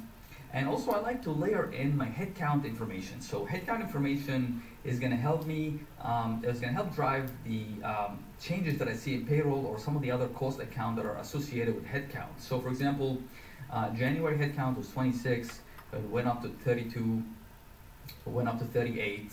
Um, you know, the change month over month is six, which is 19%. So pretty much I should expect that my payroll costs are going to be moving in the same direction. But if I see them moving in a different direction, then I'm going to be stopping here and saying, wait a minute, you know, it doesn't make sense for payroll to be changing in a much bigger or smaller difference than uh, my headcount information. So when I begin analyzing the income statement account by account, so I begin with the first line on the revenue, which is platform fees, and I can see that went up by 22%, right? So my commentary on this is to review the sales by customer report for reasonableness, uh, and then uh, provide the commentary that I've reviewed it and ask the question. So for example, when we look at this tab here that we set up for sales by customer, I can see the trend line on how my by account, my revenue is going up month over month, right? So my commentary is gonna be that I asked the question, uh, looked at the detail by customer and asked the question uh, within the sales team and figure out if it's reasonable for revenue to go up by that percentage, right? And generally, revenue should go up month over month, right? If you see it going down, then it's a sign of trouble overall. Uh, but in this case here, it is trending correctly and going up month over month. And as I continue to go through the income statement, I'm going to start going through some of the cost of sales item. And the first one is going to be uh, server cost. And the server cost in this case is with AWS or Amazon Web Services. And as you might imagine, any business that relies on web traffic, such as Spa Booker, uh, as revenue goes up, you also should expect that your uh, server costs should start going up as well. So we see here that uh, the web cost or the web hosting cost went up by 7%, right? And uh, we'll say here that this is in line with change in revenue. Even though we see change in revenue is 17%, uh, the increase here is 7%, which is good because you want your revenue change to outpace your cost, right? And that makes sense. And now, as we go down uh, through the statement, we'll see some items such as the uh, salaries and benefits to customer support. And you'll see that all of these accounts went up by 20% month over month. So this is an increase of 20%. And this is why it's helpful to have the headcount information trending up here so that I can see, for example, the headcount went up by 19%, right? And the payrolls uh, cost went up by 20%. So it's in line, right? Uh, but remember, the whole reason for this analysis here is for you to find mistakes, right? So if this trending here is not 20%, say it's 30% or 40%, then you, that means something is wrong, right? So you're not necessarily defending these numbers that you're seeing in the income statement. You're trying to find that there's any kind of correlation that doesn't make sense that will indicate that you might have an accounting error, which is the whole purpose of this analysis. Okay, so this here is a, a good number to see 20% correlates to 19%, right? If it's not correlating, you have to go back and figure out if there is a mistake in the way you booked payroll, right? Uh, so I'm going to comment here and say that increase is in line with increase in headcount. And you pretty much go through the rest of the income statement and look at the increases that are over 10% and provide commentary Uh, on the change month over month. And again, you're not defending, but rather trying to find if there is an accounting mistake. All right, so back to this overview of the types of financial statement analysis. We just covered the accounting analysis month over month to find accounting errors. Now let's take a look at the financial or managerial analyses. The first one is going to be actual versus budget. Let's take a look at how I set up my file. All right, so in Excel here, I'm analyzing the P&L for Spa Booker for March of 2022, and I have a column for actual results and I have a column for budget, right? So I'm gonna layer in my actual by account, and then I'm gonna layer in the budget, and then I'm gonna have a column for variance dollars and various uh, percentage. And then I'm gonna do the same thing where I'm gonna put my headcount information at the first row uh, to show what is the actual headcount versus budget. And then the variance is four, and that's 12%, which means that hiring is ahead of plan, right? And I have a tab here for my headcount information, so I'm gonna show you in a second. I flip over to headcount, right? I have my actual headcount data, and I have my budget by department, right? So the way to look at this is, for example, the budget for customer support was to have six headcount in March, but in actuality, I have seven, right? So that tells me that I'm hiring ahead of budget or more than budget, right? If I flip back to the profit and loss statement, uh, this is going to be a guiding number for me to know uh, where I stand in terms of uh, hiring for budget versus actual. And just like I did before, I'm going to provide a threshold for commentary because I don't want to analyze every single dollar on the income statement, right? I want to go after the things that are more impactful. I want to spend my time wisely. If you have a bigger team and you have the resources, maybe lower that threshold to maybe 2 or 3%. But in this case here, I'm setting it at 10% because I'm going to be spending my time efficiently on the things that have the bigger impact on the P&L. And now I can begin analyzing my accounts one by one. So I'll begin with my revenue accounts, and I have the first one, platform fees. And I'll see here that my actual to budget, I am behind budget by $14,000 or 12%, right? Uh, so that's gonna be something that I have to comment on. And the way I'm gonna comment on this one is that I'm gonna speak with my sales team and figure out um, why are we behind plan. So when I speak to them, you know, they told me that the slight lag versus budget is due to less number of stores signing up versus planned, right? So you can examine that and make sure that that statement is correct by looking at the way the budget is built and the number of stores that are being signed up and compare it to actual number of stores and see if that statement is true, right? This is how you analyze this kind of number. Uh, the transaction fee is off from budget by 4%, so it's below my threshold of investigation, so I'm not gonna go through it. Uh, but if you set up your threshold to be 3%, then you'll have to comment on this item here by investigating further. And you do the same thing going down the list, right? So you go through the accounts, you know, your cost of sales, your server cost, uh, this is AWS cost, right? It's lagging behind budget, below budget by 5%, which is good uh, because you want it to correlate with revenue, right? So revenue is down by 5%, and so is your cost with AWS down by 5%, which makes sense because there is a correlation between the traffic and the hosting fees with AWS. Now, when you look at your uh, accounts for salaries and benefit to customer support in this case, right, it's down, or actually rather it's up by 12%, right? And that's why it's helpful to have the headcount budget versus actual on top here so that you see that you're ahead of budget by 12%, and so your cost is also ahead of your budget by 12%, and that makes sense. Um, and then you go through pretty much the rest of the statement and go account by account and provide commentary in the same way by investigating why the budget is different than actual and provide a commentary. And then this pretty much is going to help management make decisions in the business uh, going forward, whether we need to uh, reduce the resources being spent in certain areas, uh, invest more in selling in certain areas, so on and so forth. This is how you analyze actual versus budget. All right, the next analysis is going to be vertical analysis. And before discussing why even it's called vertical analysis, I wanted to give a big shout out to my Patreon supporters. I'm going to leave uh, a screenshot here for my supporters. Uh, thank you so much for supporting the channel. And Patreon pretty much is a place where we meet once a month and you can chat with me on Discord via voice chat and ask me your questions. We discuss things that vary from financial statement questions to career development, uh, even questions whether you should leave your job and go to another job, things like that that we discuss. Uh, so go ahead, I'm going to leave a link down below to Patreon where I also leave valuable Excel files and downloads that you can go ahead and check out. But let's dive back in. We're talking about vertical analysis, right? So for vertical analysis, the reason why it's called vertical, remember, we just said horizontal here on the left. Horizontal was going left to right and comparing period over period, right? Um, with vertical, we're going top to bottom. That's why it's called vertical, It makes sense. Um, so you're in vertical, I'll show you the setup in Excel in a second, but you pretty much are comparing some of the items on the income statement uh, to one fixed item such as revenue, most commonly done this way. Um, and then looking at you know whether you are as a percentage of revenue, for example, uh, you're trending up or down on these expenses. So let's take a look on the Excel file and how I set it up for this kind of analysis. All right, so for vertical income statement analysis, what I do is I layer in my income statement by account for three months. So I have here January, February, and March. And then I create three columns here where I measure each line item as a percentage of revenue. So obviously revenue as a percentage of itself is 100%. Uh, but then as you go down, the cost of sales accounts, for example, so server cost, right? Um, when you look at it as a percentage of revenue, you're simply just dividing the server cost as a percentage of total revenue, uh, and that gave you 21%, right?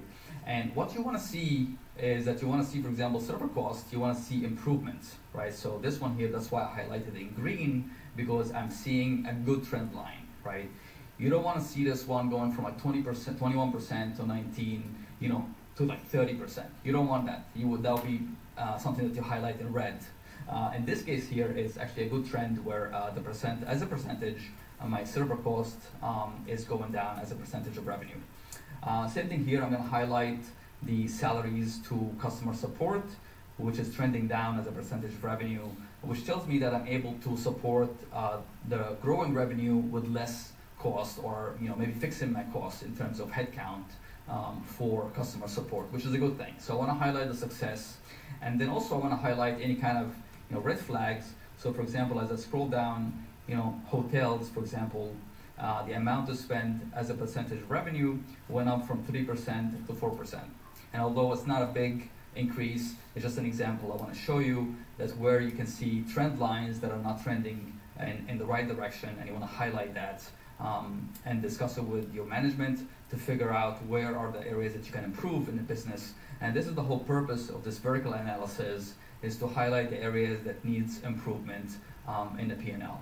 All right, so going back to the overview, we've covered three types of analyses, an accounting analysis, and then we covered actual versus budget, vertical analysis, and now we'll take a look at ratio analysis.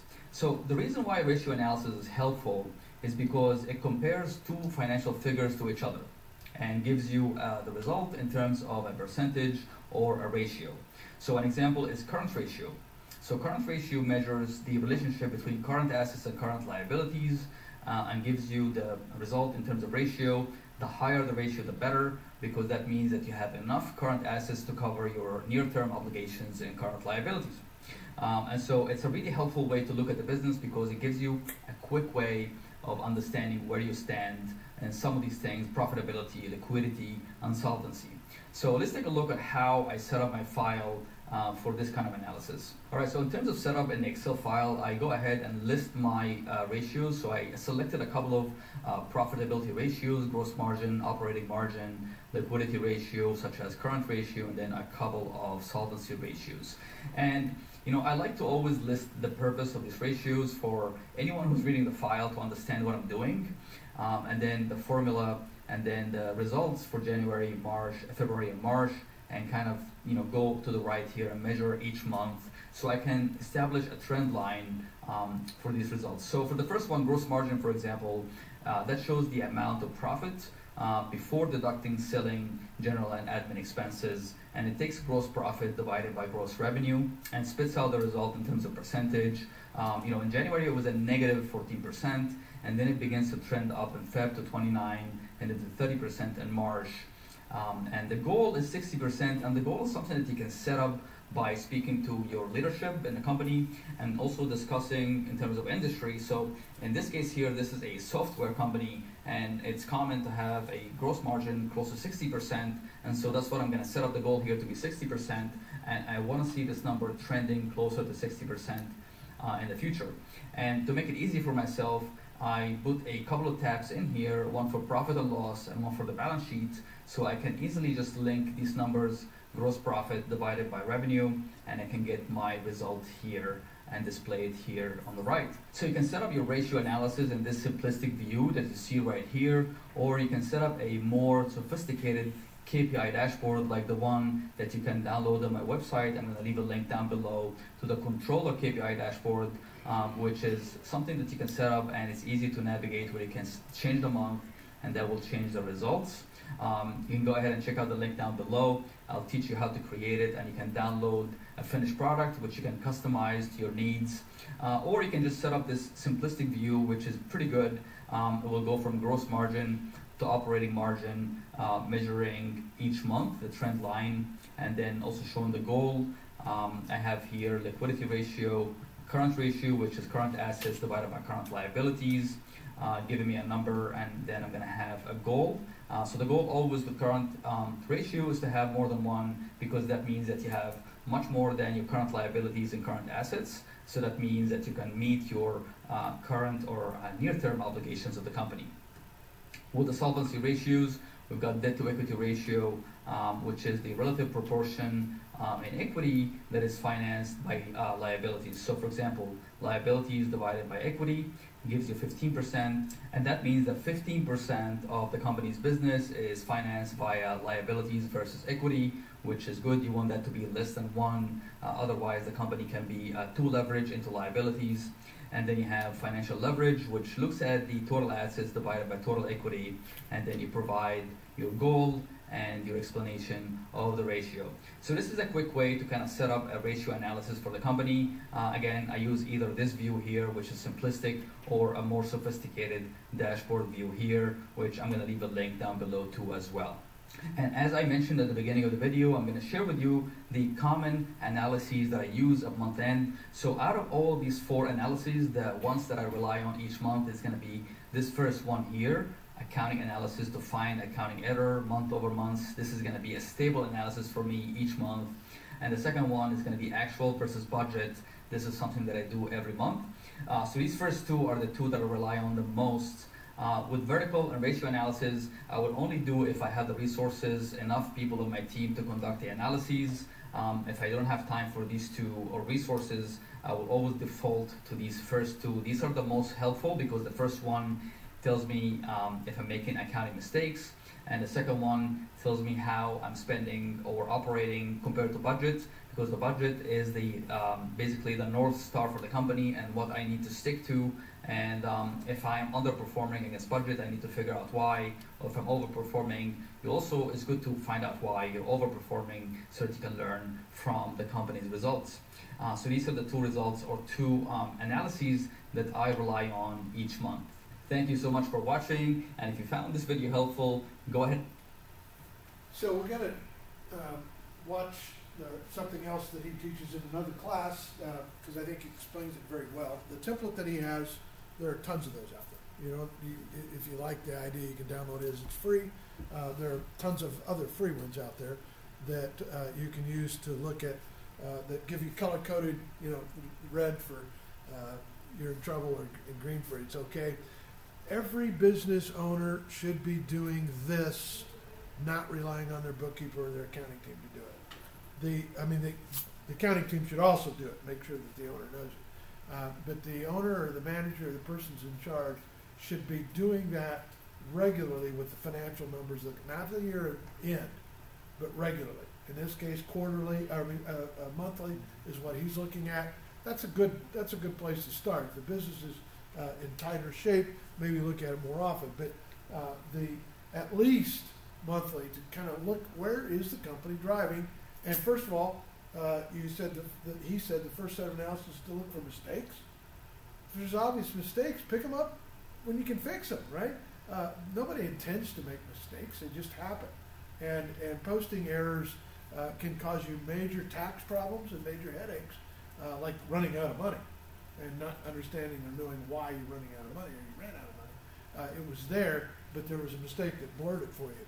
And so, uh, getting to know that stuff, uh, it's surprising to me how many business owners don't have a handle on just that very simple thing that we just looked at. Secondly, there's an awful lot of business owners that can't do the second one because they don't have a budget. They're just working as hard as they can work every day, do as good as they can do, and not really knowing what they're planning and not having a planned budget of where they want to be. And, and a company needs to know where they want to be after you hire the first employee. When you are just a sole proprietorship and it's just you, it's your game. You can wing it, play it by the seat of your pants if you want. No other families are depending on you. Uh, just go for it. But as soon as other, as soon as you have employees, you have other families that are depending on your uh, effectiveness and being able to sustain a company. And so part of sustaining a company is having the budgets and knowing where we need to be in order to be solvent. Because at some point in time, when an accounting firm does give us a financial opinion of an audit of our books, which if we're not a public company, that can be a, you know, can be a, a non-public accounting firm, but it's gotta be a hands, uh, arm's length accounting firm that gives us a financial statement, or the IRS will give you theirs. And you don't want that. You want one that's a, an opinion by a certified public accounting firm, even if they're not, uh, licensed to do public companies, uh, they can do private companies, and they will give an opinion statement that's part of your financial statements that says in that opinion statement, in our opinion, this company is solvent or and can, can sustain continued operations, or this company is insolvent. And you don't want an accounting uh, letter that says you're insolvent. Now that's that's a problem because you probably are near insolvency at that point, which means you're near bankruptcy. Uh, so the first step is learning how to read financial statements and reading, right? And so he started that, that conversation. Uh, the second step will be now what can we do to change the financial statements to be more favorable to where we're going and what we want to do to grow the company or to take more profits out of the company. And that we'll be talking about that uh, later. I want to end the class with uh, some investment uh, opinion from Warren Buffett because we're starting our little investment game. So how does he pick stocks? How does he pick companies? What does he think the mistakes are that companies make that cause them not to be on his list of companies that he likes to invest in? And and uh, uh, so there's something of value there of how he takes apart a financial statement. We'll watch this, and then we'll be done uh, when this is over. I'll comment on it a little bit, but we'll be done. In this video, you learn about 12 of the biggest mistakes that almost every investor makes, according to Warren Buffett. I'll admit a few of my own investing sins along the way to be a good sport. This is the Swedish Investor, bringing you the best tips and tools for reaching financial freedom through stock market investing. Number one, timing the market. Well, we don't, Charlie and I don't think about the market, and, and I, and Ben didn't very much. He, I think he made a mistake to occasionally try and place a value on it. Uh, we look at individual businesses, but the, the stock market, I know of no one that has been successful at, uh, and, and really made a lot of money predicting the actions of the market itself. I know a lot of people who have done well uh, uh, picking businesses, and that's what we're hoping to do. Focusing too much on what the general stock market is doing is one thing that Warren Buffett considers a great mistake. One so easy to commit that even his investing role model Benjamin Graham was doing it. Why is predicting market movements so alluring? The tide of the ocean can both raise and sink all ships. You successfully identified a great stock, but got clobbered because COVID struck. Then you found another awesome company, only to face raising interest rates, inflation, and war. What the hell? I think this is why trying to predict what happens on a macro level in the economy is so alluring. We want to buy the dips and sell the highs. It sounds so easy, right? Warren Buffett says that one must only focus on two things in life the important and the knowable. Where the market is heading sure is important, but is it knowable? I don't know what interest rate hike Jeremy Powell will announce during Fed's next policy meeting. Heck, I don't even think that Jeremy Powell himself knows that. And that's just one of maybe 100 variables that are important for where the market is heading. So, what is Buffett doing instead? He is focusing on what is both important and knowable, identifying superior companies at fair prices. Recognizing that a ship is superior is a lot easier than predicting every storm that may come far, far into the future. Sometimes there will be hurricanes and thunder, and one of your ships may sink, but at other times your ships will have wind in their back. Trust that over time you'll do well by betting on the best boats. Number two, getting attached to your purchasing price. A stock at 50, somebody's paid 100, they feel terrible, somebody else paid 10, they feel wonderful, all these feelings. And it, it has no impact whatsoever. Have a look at this graph, which represents the share price of Amazon during the last five years. Arnold purchased the stock in June 2022, and he's now sitting on a nice 5% return. Not too shabby. He probably feels pretty good about himself, considering that that was only some four months ago. On the other hand, Ben purchased the company in July 2021, and he has lost 38%. And then there's Katie, who purchased Amazon five years ago, and she's now sitting on a nice 133% return. Now to the million dollar question. Does this all matter? Should Arnold, Ben, and Katie treat Amazon stock differently because of when they purchased the company? Maybe Arnold and Katie should sell to secure a profit, while Ben should wait to break even? Presented like this, I think it is quite easy to see that the answer to this question is no. The only thing that matters for today's decision, selling or keeping Amazon, is how the company is likely to perform in the future. After all, if Amazon sells for 50% more in a year, Arnold, Ben, and Katie will all make a 50% profit from today's level. They are not treated differently. The mistake here is that many investors tend to get attached to their purchasing price. The stock of Amazon doesn't give a damn about your purchasing price. Stocks do not show empathy. They treat investors who have lost 38% on their holding and those that have gained 133% exactly the same going forward. Warren Buffett thinks that you should always pretend that you have a blank slate. You'll soon hear about a sibling to this mistake, a mistake that Buffett calls his biggest mistake by far. Number three, aggressive growth projections. I think it's a mistake for any company to predict 15% a year growth, but plenty of them do. Very, very few large companies can compound their earnings at 15%. It isn't going to happen.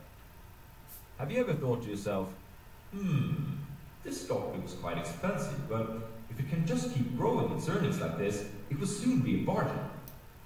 I sure have.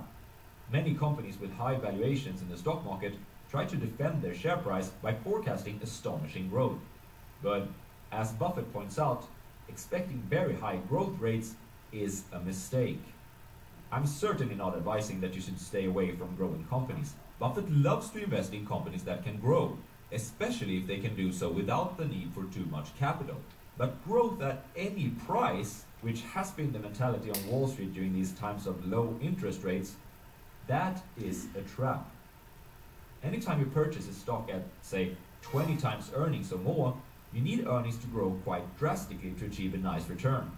And as Buffett points out, this is not so easy to do. Among S&P 500 companies from 2012 that still exist under the same ticker symbol today, only 40 companies managed to grow at 15% or more.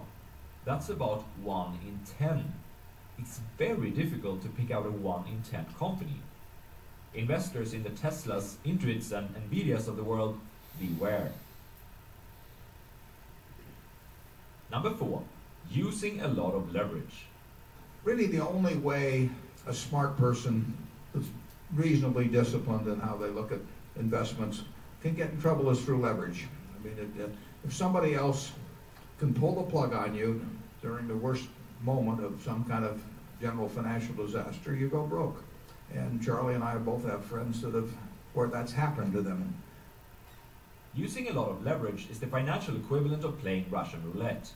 Sure, I'll gladly accept a 1 in 6 risk of blowing my brains out. Investing really isn't a game that was created for the impatient, and nothing screams desperate like a portfolio full of borrowed money, except maybe really playing Russian roulette, of course. Why is leverage so dangerous? It's because if you are borrowing money, you can be right about something, but you are not allowed to play your hand, so you lose anyways. Let me explain. Harry, the hedge fund manager, decides to short GameStop on March 15, 2022. When Harry is shorting GameStop, he's using leverage, but he's borrowing shares instead of cash. Warren Buffett hates shorting for the same reason that he hates most leverage. Harry borrows and sells shares worth $1 million and deposits 500,000 in initial margin requirement, something the broker wants him to have in his account because they want to be sure that he can return those shares in the future. GameStop is valued at no less than 20 times its best performing year in a decade, and the business has been facing a terrible headwind during the last five or six years. In other words, Harry is sitting on a pretty good hand. Maybe not pocket aces, but perhaps pocket queens? Well, no matter. He's never going to be allowed to play that hand. Just a week later, the shares in GameStop climbs from $19 to $31 per share. Harry now owes his broker more than $1.6 million in GameStop shares. Plus, he needs to put up something called maintenance margin requirement. In total, around $2.1 million. This is when his broker issues a margin call of 600,000, money that Harry must transfer to his account for the broker to be comfortable keeping that position. Harry adds the money, but just a week later, the shares sell for $47. He now owes the broker almost 2.5 million in GameStop shares, and you guessed it, they issue another margin call. This time, it's for $1.1 million, which is more than Harry can afford. So instead, he's forced to buy back shares, and he decides to close the whole position at a $1.5 million loss. In my opinion, the share of GameStop is trading at way too high a level currently, and I think that the imaginary Harry will be proven right, eventually. But because he used leverage, he's never going to be able to profit from that prediction. Number 5. Missing the forest for the trees. We've made plenty of mistakes in acquisitions. Plenty. The mistakes are always about making an improper assessment of the economic conditions in the future of the industry or the company. They're not a bad lease. They're not a specific labor contract. They're not a questionable patent. Those are not the things that count. Three things. The future economics of the business and industry, the management, the price.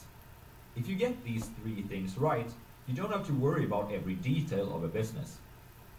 Warren Buffett is said to be able to make a deal in 15 minutes. This is of course partly an effect of tons and tons of business experience, but it is also because he likes to keep things simple. In 15 minutes, he can't possibly understand every detail of a business, the typical due diligence that investment bankers and management consultants spend endless hours on. But he can decide on the previous three, and at the end of the day, that's what counts. Get caught up in too much detail, and you might miss the forest for the trees. This is probably the mistake on this list that I myself find the most difficult currently. I just spent over a month researching different stock market companies, and because of that, I was not able to release any videos for you guys on this YouTube channel. It might be that I'm getting bogged down in too much detail. However, if there's one thing that I've learned, it's that it's great to have a bottom-up approach, meaning that I sometimes do quite a bit of detailed analysis, but then I try to summarize that information for myself in the end. For example, this is what maybe a day or so of analyzing a Swedish kitchen producer called Nobia ended up looking like.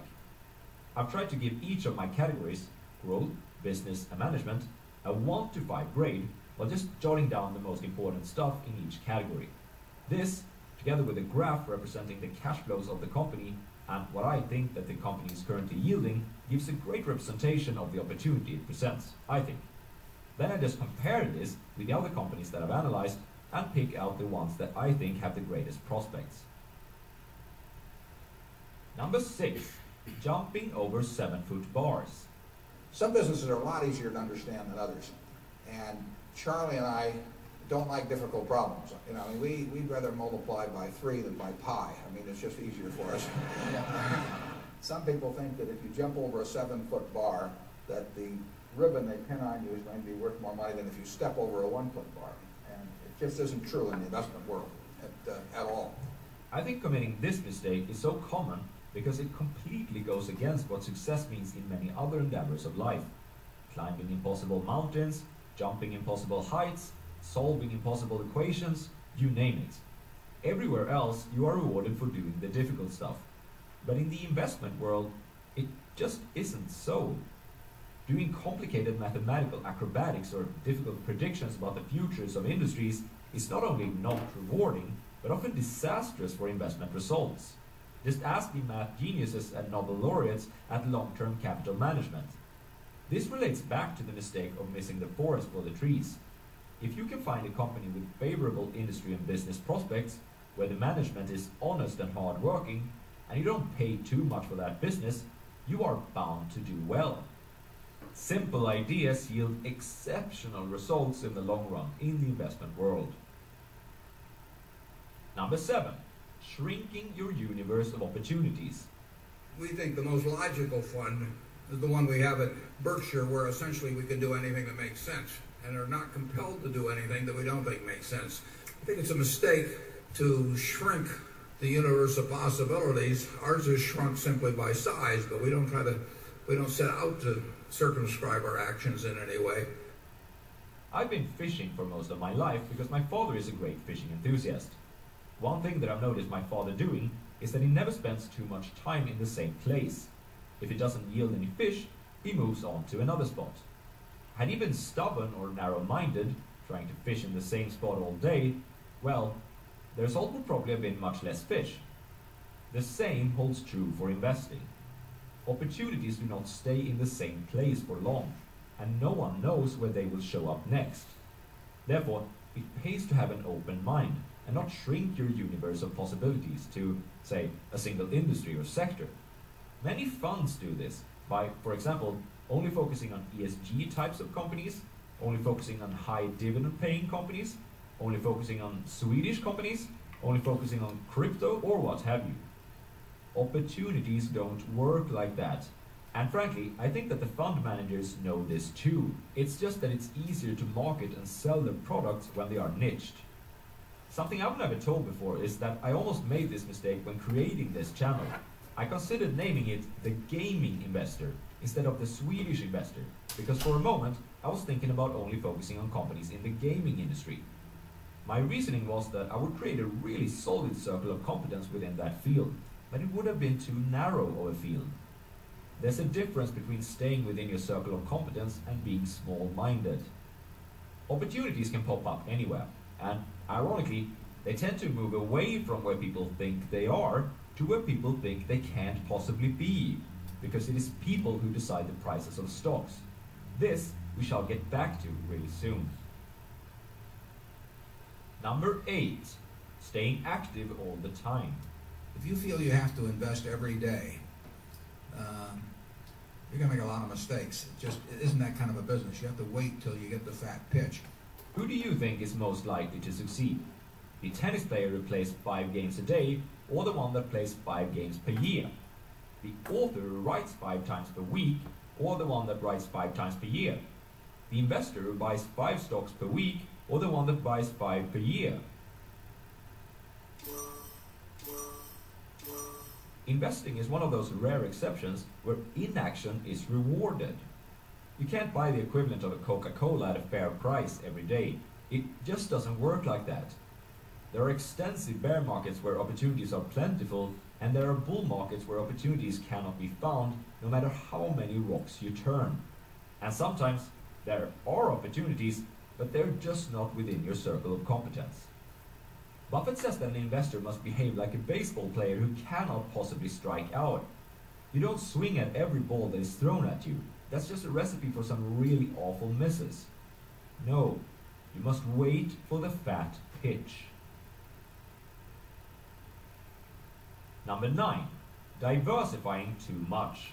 If you really know businesses, you probably shouldn't know more than six of them. I mean, if you can identify six wonderful businesses, that is all the diversification you need, and you're going to make a lot of money. And I will guarantee you that going into a seventh one is going to, rather than putting more money in your first one, it's got to be a terrible mistake. Very few people have gotten rich on their seventh best idea, but a lot of people have gotten rich on their best idea. Diversification is a hot potato among investors. I've discussed this on multiple occasions already, so I'll be quite short here and point you to this other video if you want to go more in depth on the topic. It basically boils down to this. If you are not willing to read up on individual companies on a regular basis, you should diversify. Probably buying something like an index fund, to protect yourself against the lack of knowledge. But if you are what Buffett calls a know something investor, someone who enjoys staying up to date with specific businesses and industries, you should leverage this knowledge to achieve above market returns. If you buy the 30 largest companies of the S&P 500, you shouldn't expect to perform much differently from the index people. An analogy comes to mind. When I was younger, there was some who thought that mixing 40% liquor with 30% liquor must make the resulting cocktail even stronger. Maybe even 70%? This is of course silly. Adding anything weaker than 40% to the 40% one will only dilute the result. Just like adding your seventh best stock pick will dilute the performance of your top six portfolio. For the sake of transparency, I currently own 10 stocks myself, and I think that investors will forever debate what the perfect number is. Number 10, confirmation bias. There's no question the human mind, that what the human being is best at doing is interpreting all new information so that their prior conclusions remain intact. That is a talent everyone seems to have mastered. And Charlie and I have made big mistakes because, in effect, we have been unwilling to, uh, to look afresh at something. Uh, you know, that happens. Charlie Munger has an analogy about this that I think is quite funny. What I'm saying here is that the human mind is a lot like the human egg, and the human egg has a shut-off device.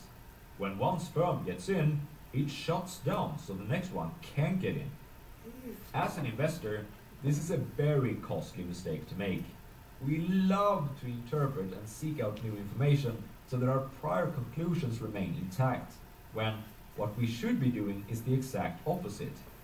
We must try to stay rational and weigh the pros and cons for all of the companies that we keep in our portfolio. I've had a very hard time with this historically, but I think that I've found two antidotes the darling killing funnel and the bear pill. Say that you have decided to keep 10 companies in your portfolio. Then you should have at least 20 candidates before you decide on which 10 to keep.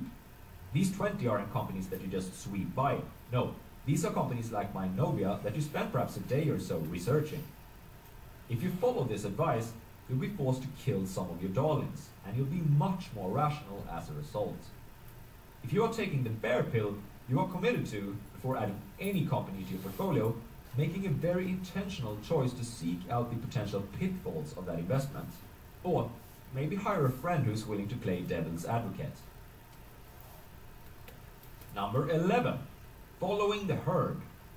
Humans will continue to make the same mistakes that they have made in the past. I mean, they get they get fearful when other people are fearful. I mean, that's but when when they get greedy, they get greedy in mass too. I mean, it just that's where Charlie and I have an edge. We don't, we don't have an edge particularly in many other ways, but we are able, perhaps better than most, to not really get caught up with what other people are doing.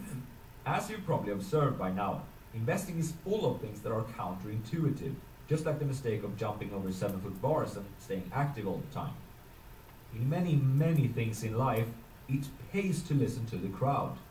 If your parents and friends like your girlfriend, she's probably a pretty good partner. If a lot of people like a particular movie, chances are higher that you'll enjoy it too. If people are really jealous about your career, it means you are probably doing pretty good for yourself, unless there's something you're not telling them, of course. Well, not so with investing. In fact, if your parents and all your friends agree with the most recent stock that you recommended, it probably means that you should not buy it. As another excellent investor, Howard Marks, puts it, what is clear to the broad consensus of investors is almost always wrong. How can this be? It's because there's no such thing as a good idea regardless of price. Sure, Tesla may take over the automotive industry, but it is not going to be a good investment if it is already priced as high as the whole automotive industry. If there's one situation where I think that people are extra vulnerable to following the herd right off a cliff, it's when others, worst case their friends, are getting rich doing something that looks easy. This is my biggest investing mistake so far. I put quite a bit of money in a small startup that a friend had gotten rich investing in. The company wasn't in my circle of competence, but I threw my hard-earned money after it nonetheless, because his returns were so alluring, and I also knew he was involved in the company. The jury's not out yet, but if this doesn't turn out to be my costliest mistake so far, I'm just dumb lucky. Number 12. Omissions. The biggest mistakes we've made by far are mistakes of omission and not commission. I mean, it's the things I knew enough to do, they were within my circle of competence, and I was sucking my thumb. I probably cost Berkshire at least $5 billion, for example, by sucking my thumb 20 years ago or close to it when Fannie Mae was, was having some troubles, and we could have bought the whole company for practically nothing yet. Pretty much every mistake on this list so far has been mistakes of commission. You take some sort of action to create them. However, as Buffett points out, sometimes the biggest mistake of all is not to do something. You know, not asking that girl that you're interested in if she wants to go on a date with you. Never taking a risk in your career. Or, as in Buffett's case, not investing in something that was a given. This mistake is extra annoying if it is combined with one that we've talked about before, getting attached to your purchasing price. Buffett has often mentioned that this happened to him with Walmart. He was acquiring a stake in the company, I think it was in the early 90s, but the price of the share ran away a little. Of course, if you think that a company is a great opportunity at X dollars, it is probably still a good opportunity at 1.1x. But Buffett's mind was attached to the first price he got, and he hoped that the stock would come down again. It never did. Buffett has said that this mistake cost Berkshire Hathaway about $8 billion in would-be profits. He nearly did the same mistake with one of his greatest investments of all time, See's Candy, but on this occasion, Charlie Munger managed to convince him otherwise. Of course, hindsight is always 2020, but when something is within your circle of competence and you've identified it as an opportunity, you don't just stand there and nibble at it. You take a full bite. These are the 12 deadly sins of investing. But perhaps you have another one up. So the purpose of showing that was, well, we're thinking about some stocks in a little game we're playing, but what I'm listening to when I'm watching that, and I'm thinking about, I'm not thinking about buying, I'm thinking about structuring my company. I'm thinking about what does my business have to do to meet those criteria. Because whether I'm on the public market or not, the rules really are the same as far as success of a business. And if it's overcomplicated, then you've got a higher probability of making a mistake uh, with your business, not investing in it. You're you're investing your life in your businesses, you know. And so when we're when we're involved in a management team, uh, these are at least some of the factors we should be considering as we build our company. Uh, at some point, we may be public as well. Uh, I've been CEO of a company, and we looked at our stock price 20 times a day, and and I watched our stock price at one period uh, move from 17.50 a share to two dollars a share, and that's a ride you don't want to have. And how do you turn that back around? So so thinking about what the public markets are doing, at some point in time, you might be in a job where you have to do that. I was. I didn't own the company. I was just helping drive, and and we were driving in the wrong direction, right? And so, uh, being aware of what are the kinds of things that you have to do to pump that back up and turn that around, and build a pub- public appetite for uh, the investment potential, and get the analysts to start to write the right things about your company. That's not what this class is about for the public market, but it is for your personal business or your business that you're working in, helping them uh, make the numbers so that the, the, the business performs those kinds of things.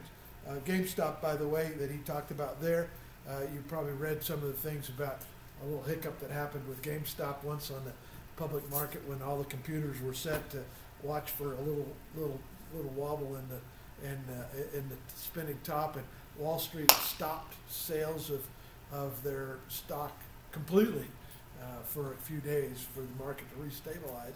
Uh, you, you probably read about that. It, it hit our news here locally but their their stock's at 20 bucks. So he was wrong about what he said. It's not performed well uh, uh, over the stock over time. If you bought it on day one, you're fine. Uh, but when he was talking about there, it was up at 85 dollars, and and so you know you, you it's a it's a uh, it's a fool's task to try to guess what the market's going to do. It's not a fool's task to try to build our business to be sound, no matter what the market does and be able to weather the storms as the uh, market does undulate. And every kind of business has its ups and downs. Every, every market has its uh, tough times.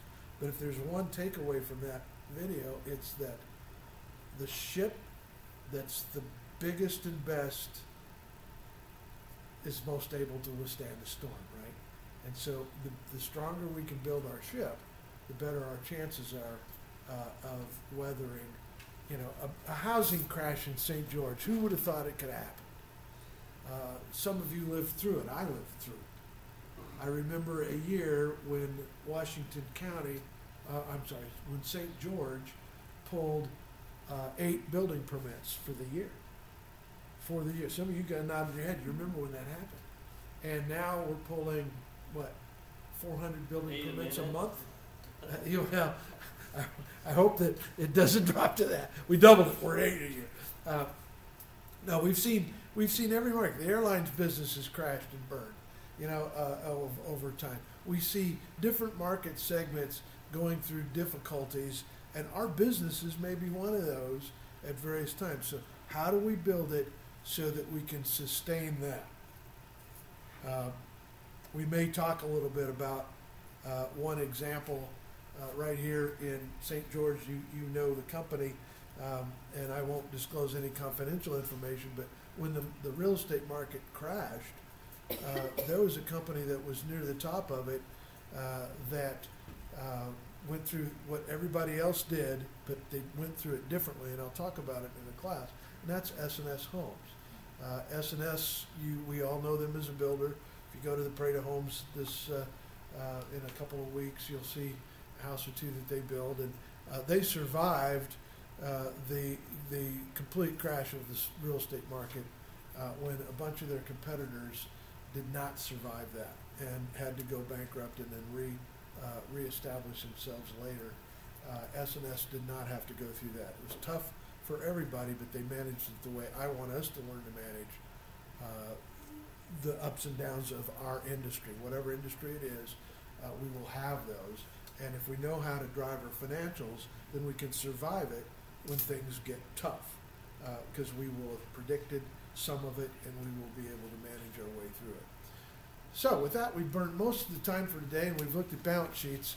Uh, we've looked at a couple of things on on how to read some balance sheets. Uh, we are going to look at income statements and statements of cash flow, and then we are going to actually use some data, like you're talking about, how we can then look at our company's financials. And I think once you you see us doing that, I think you'll get excited about uh, your own financial statements if you have access to it. I know everybody in the room does not, uh, but at some point in time, you will have access to financial statements in a, another business or a business that you're actively involved in, and this will be meaningful to you. So have a good weekend, everybody, and I will see you at uh, 5:30 on Tuesday. Do start making an investment on your game, your investment game. I will be tracking and watching uh, where we're at on that game. And just so y'all know, I did make a trade uh, ear- late this afternoon before the markets closed, and I've already lost $325. Just so you know, you, you all have an edge on me.